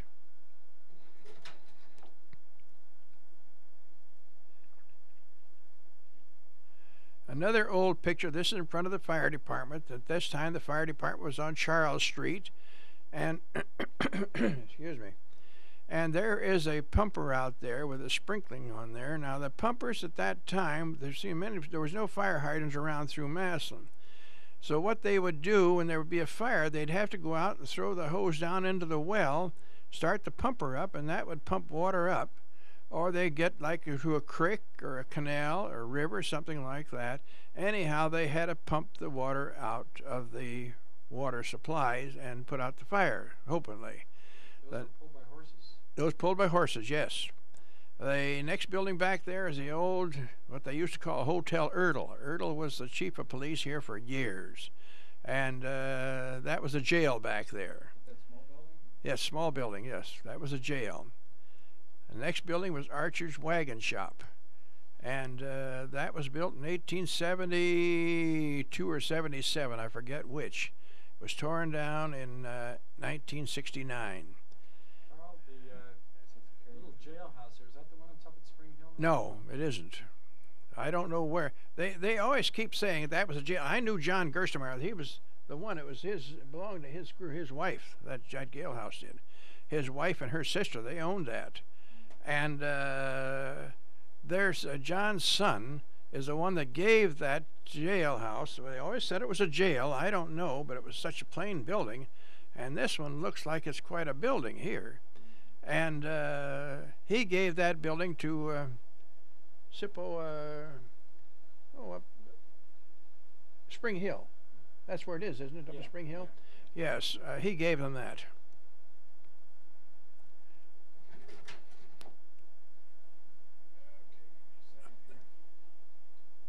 Well, that's an excellent picture of the horses.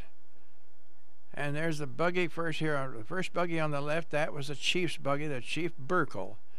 And uh, matter of fact, he was the grandfather of uh, Kenny Hogue. If you remember Kenny Hogue, he was a doctor here in Massillon. His father was a dentist here in Massillon. And this is the way they would go to the fires originally. And then the second one the white horse, that was the paddy wagon where they go and pick up the drunks and things like that and take them to the jail. Then you've got your hook and ladder and your steamers. Hold it for a minute.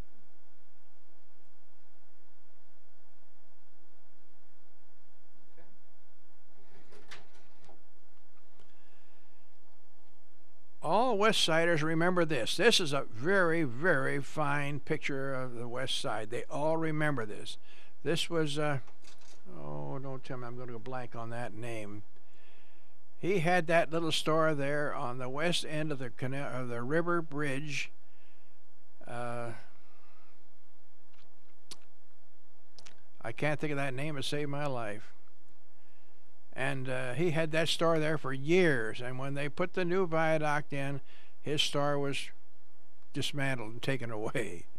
The bridge, of course, was changed, and that's the end of that. But oh, what the dickens was that fellow's name? I can still see him walking up and down the street. Can't think of it. Sorry.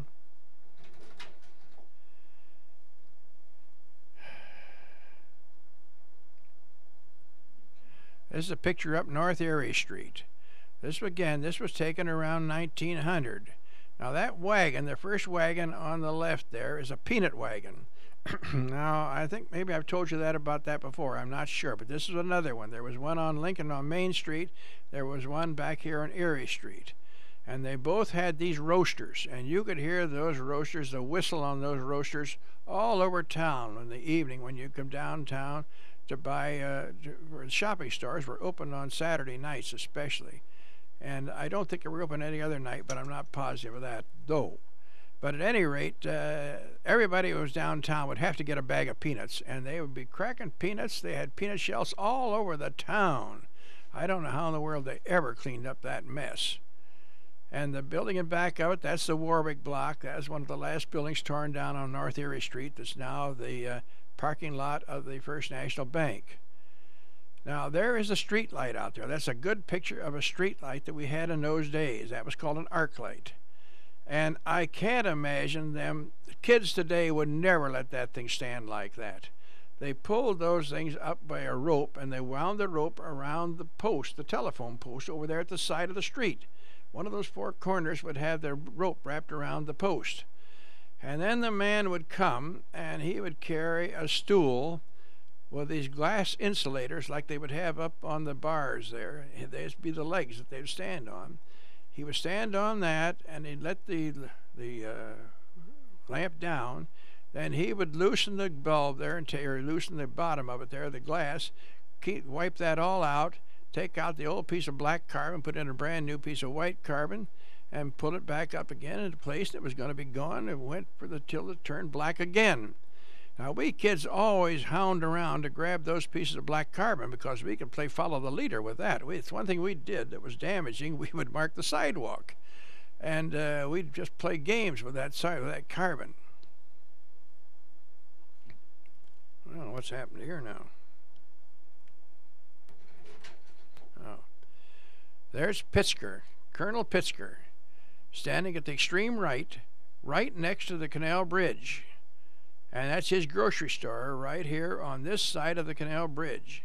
It's on the north side of Main Street uh, or Lincoln Way, and that look at that stuff that he brought out to show and to sell.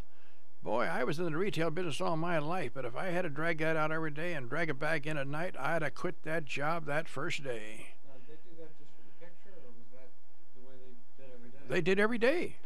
Every day. See, there's a, a wagon there on the side. It looks like a go kart there that were out in front. They had everything out there. That's a grocery store? That's a grocery store. Yes. Now, this one I've had a lot of people dis- dispute when I show them these original pictures that I have. I have these pictures originally. And uh, it's the called the Jewel, Jewel Motor Car Company, and also was called the Croxton-Keeton. And that stood down where the Massillon Cleveland Akron Sign Company building is today. That's where they used to make these automobiles. And uh, this paper is dated July the 5th, 1909. And I had this picture in my basement. That thing fell off in the earthquake that went through here and knocked it off of the spot I had it standing on and broke the glass. Tore part of the picture. But anyhow, these some people are old timers around town. So listen, those are not a 19, uh, 1909 picture. That'd be about a 1910 or 1911. It's in a 1909 newspaper. That's the only thing I can go on there. You, you still have that paper? I have the paper, but it's torn. But I've got it. Oh, Yes. boy, That's a, I've never seen that before. And uh, now here is the what they call the German 45. You notice that has the big hood on there. That's a 45 horsepower. That's a 1909 picture. Now look at those tires. Now those tires, they didn't take a rim off. They had to take the tire off the wheel and then put the tire back on the wheel. So that would turn into quite a big project. Is Croxton-Keeton? That's Croxton-Keeton. And that's and uh, that same group of pictures there. That's at 19, uh, 1909 pictures. That's in front of the old city hall, and I'm just sick about that turn being torn down. You- Did you ever go down and watch him make cars? Oh no, that's long before my time. Uh, they went out of business at about 19, I'd say 1912, 14, something like that. Now, Mr. Fluke, who worked down there, told me that this was the first taxi cab in New York City that had dismountable tires and rims.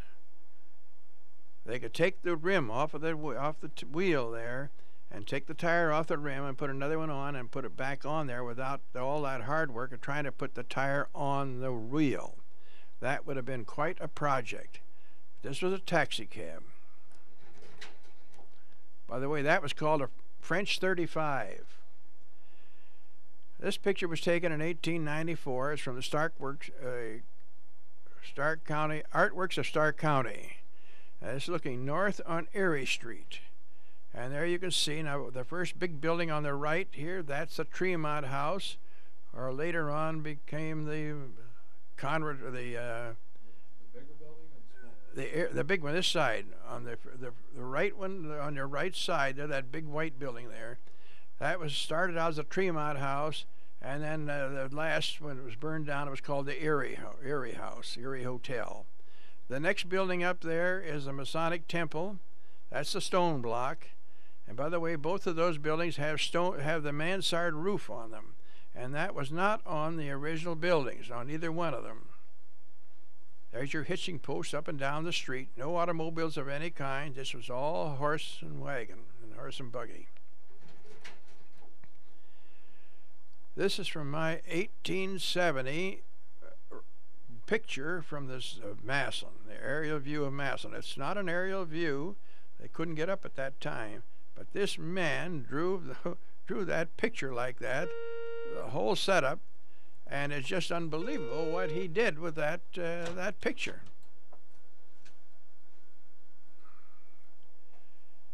There's your river the way it used to be. Now you understand why we had so many floods in Massillon. They'd hit that bend and they'd spill all over the street. The whole downtown of Massillon would be covered with water.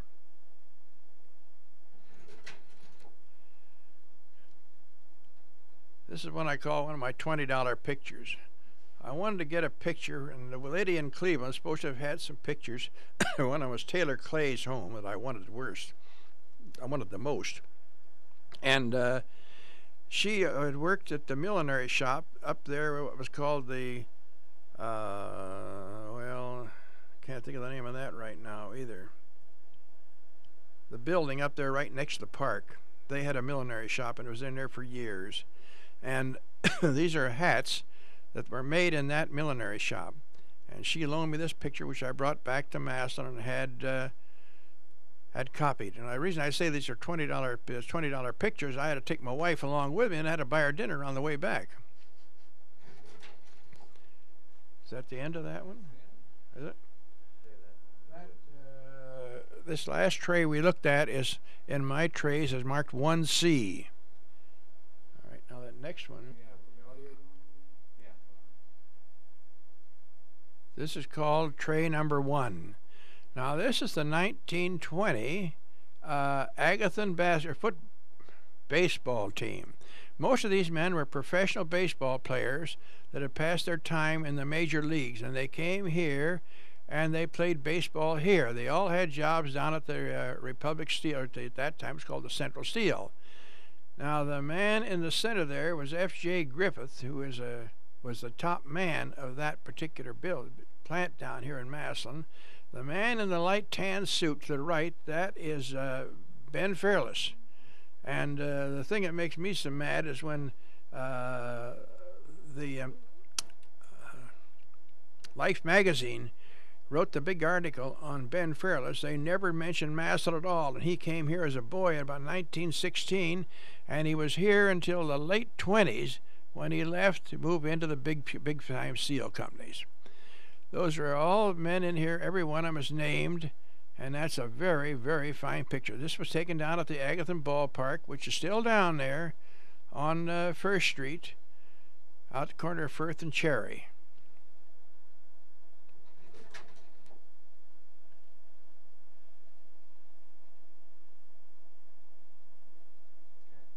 This is a Sunday picnic, and it's a Sunday school of the Presbyterian Church taken in 1895 on the canal. Now, the buildings on the left are those are all frame buildings. Of course, are gone now. The big building down at the end is McLean's Wholesale Grocery. Of course, at that after that, why they built right across the canal. They built out on the front too.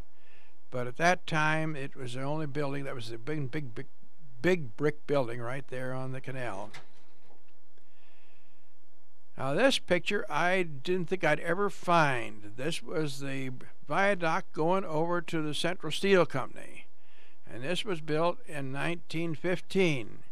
The red brick building across the street was built by the uh, was built as the office building for the Central Steel.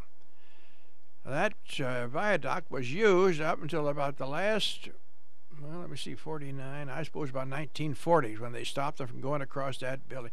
How in the world it carried all that steel across there, I'll never know. But that was the bridge they used, and it went right across there, and you can see about, if you look in front of the building there and look west or look east, it went right straight down there. The new viaduct does not go to the same place as the old one.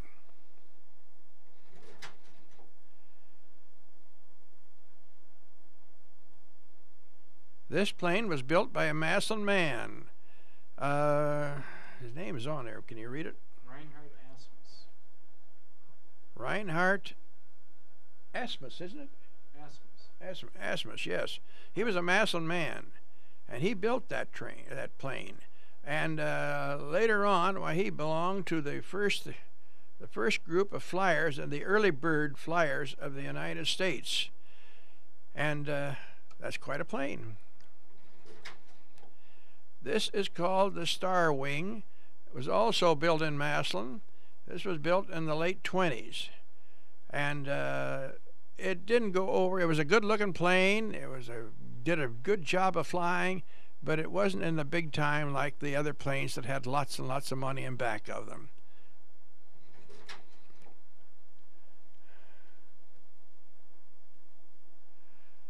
This is a blacksmith shop looking directly east, and there's the steeple of the Presbyterian Church that stood there until 1907 when it was torn down to build the present church. And the blacksmith shop, as I said before, and that's where they lived, right on the corner of Federal and uh, First Street Northeast. Now, here is your. Uh, this picture was taken the brick building or the stone building up there, that's where the uh, uh, Independent was published first, or not first, but was the later on when they moved into a building of their own, and they were there till they moved over into the other building on the north on the uh, west side of uh, North Erie, and this is called again a fire run. and they knew it was coming. The photographers were out, and they were taking the pictures of the horses as they raced up the street pulling one of the fire uh, one of the fire wagons in back of it.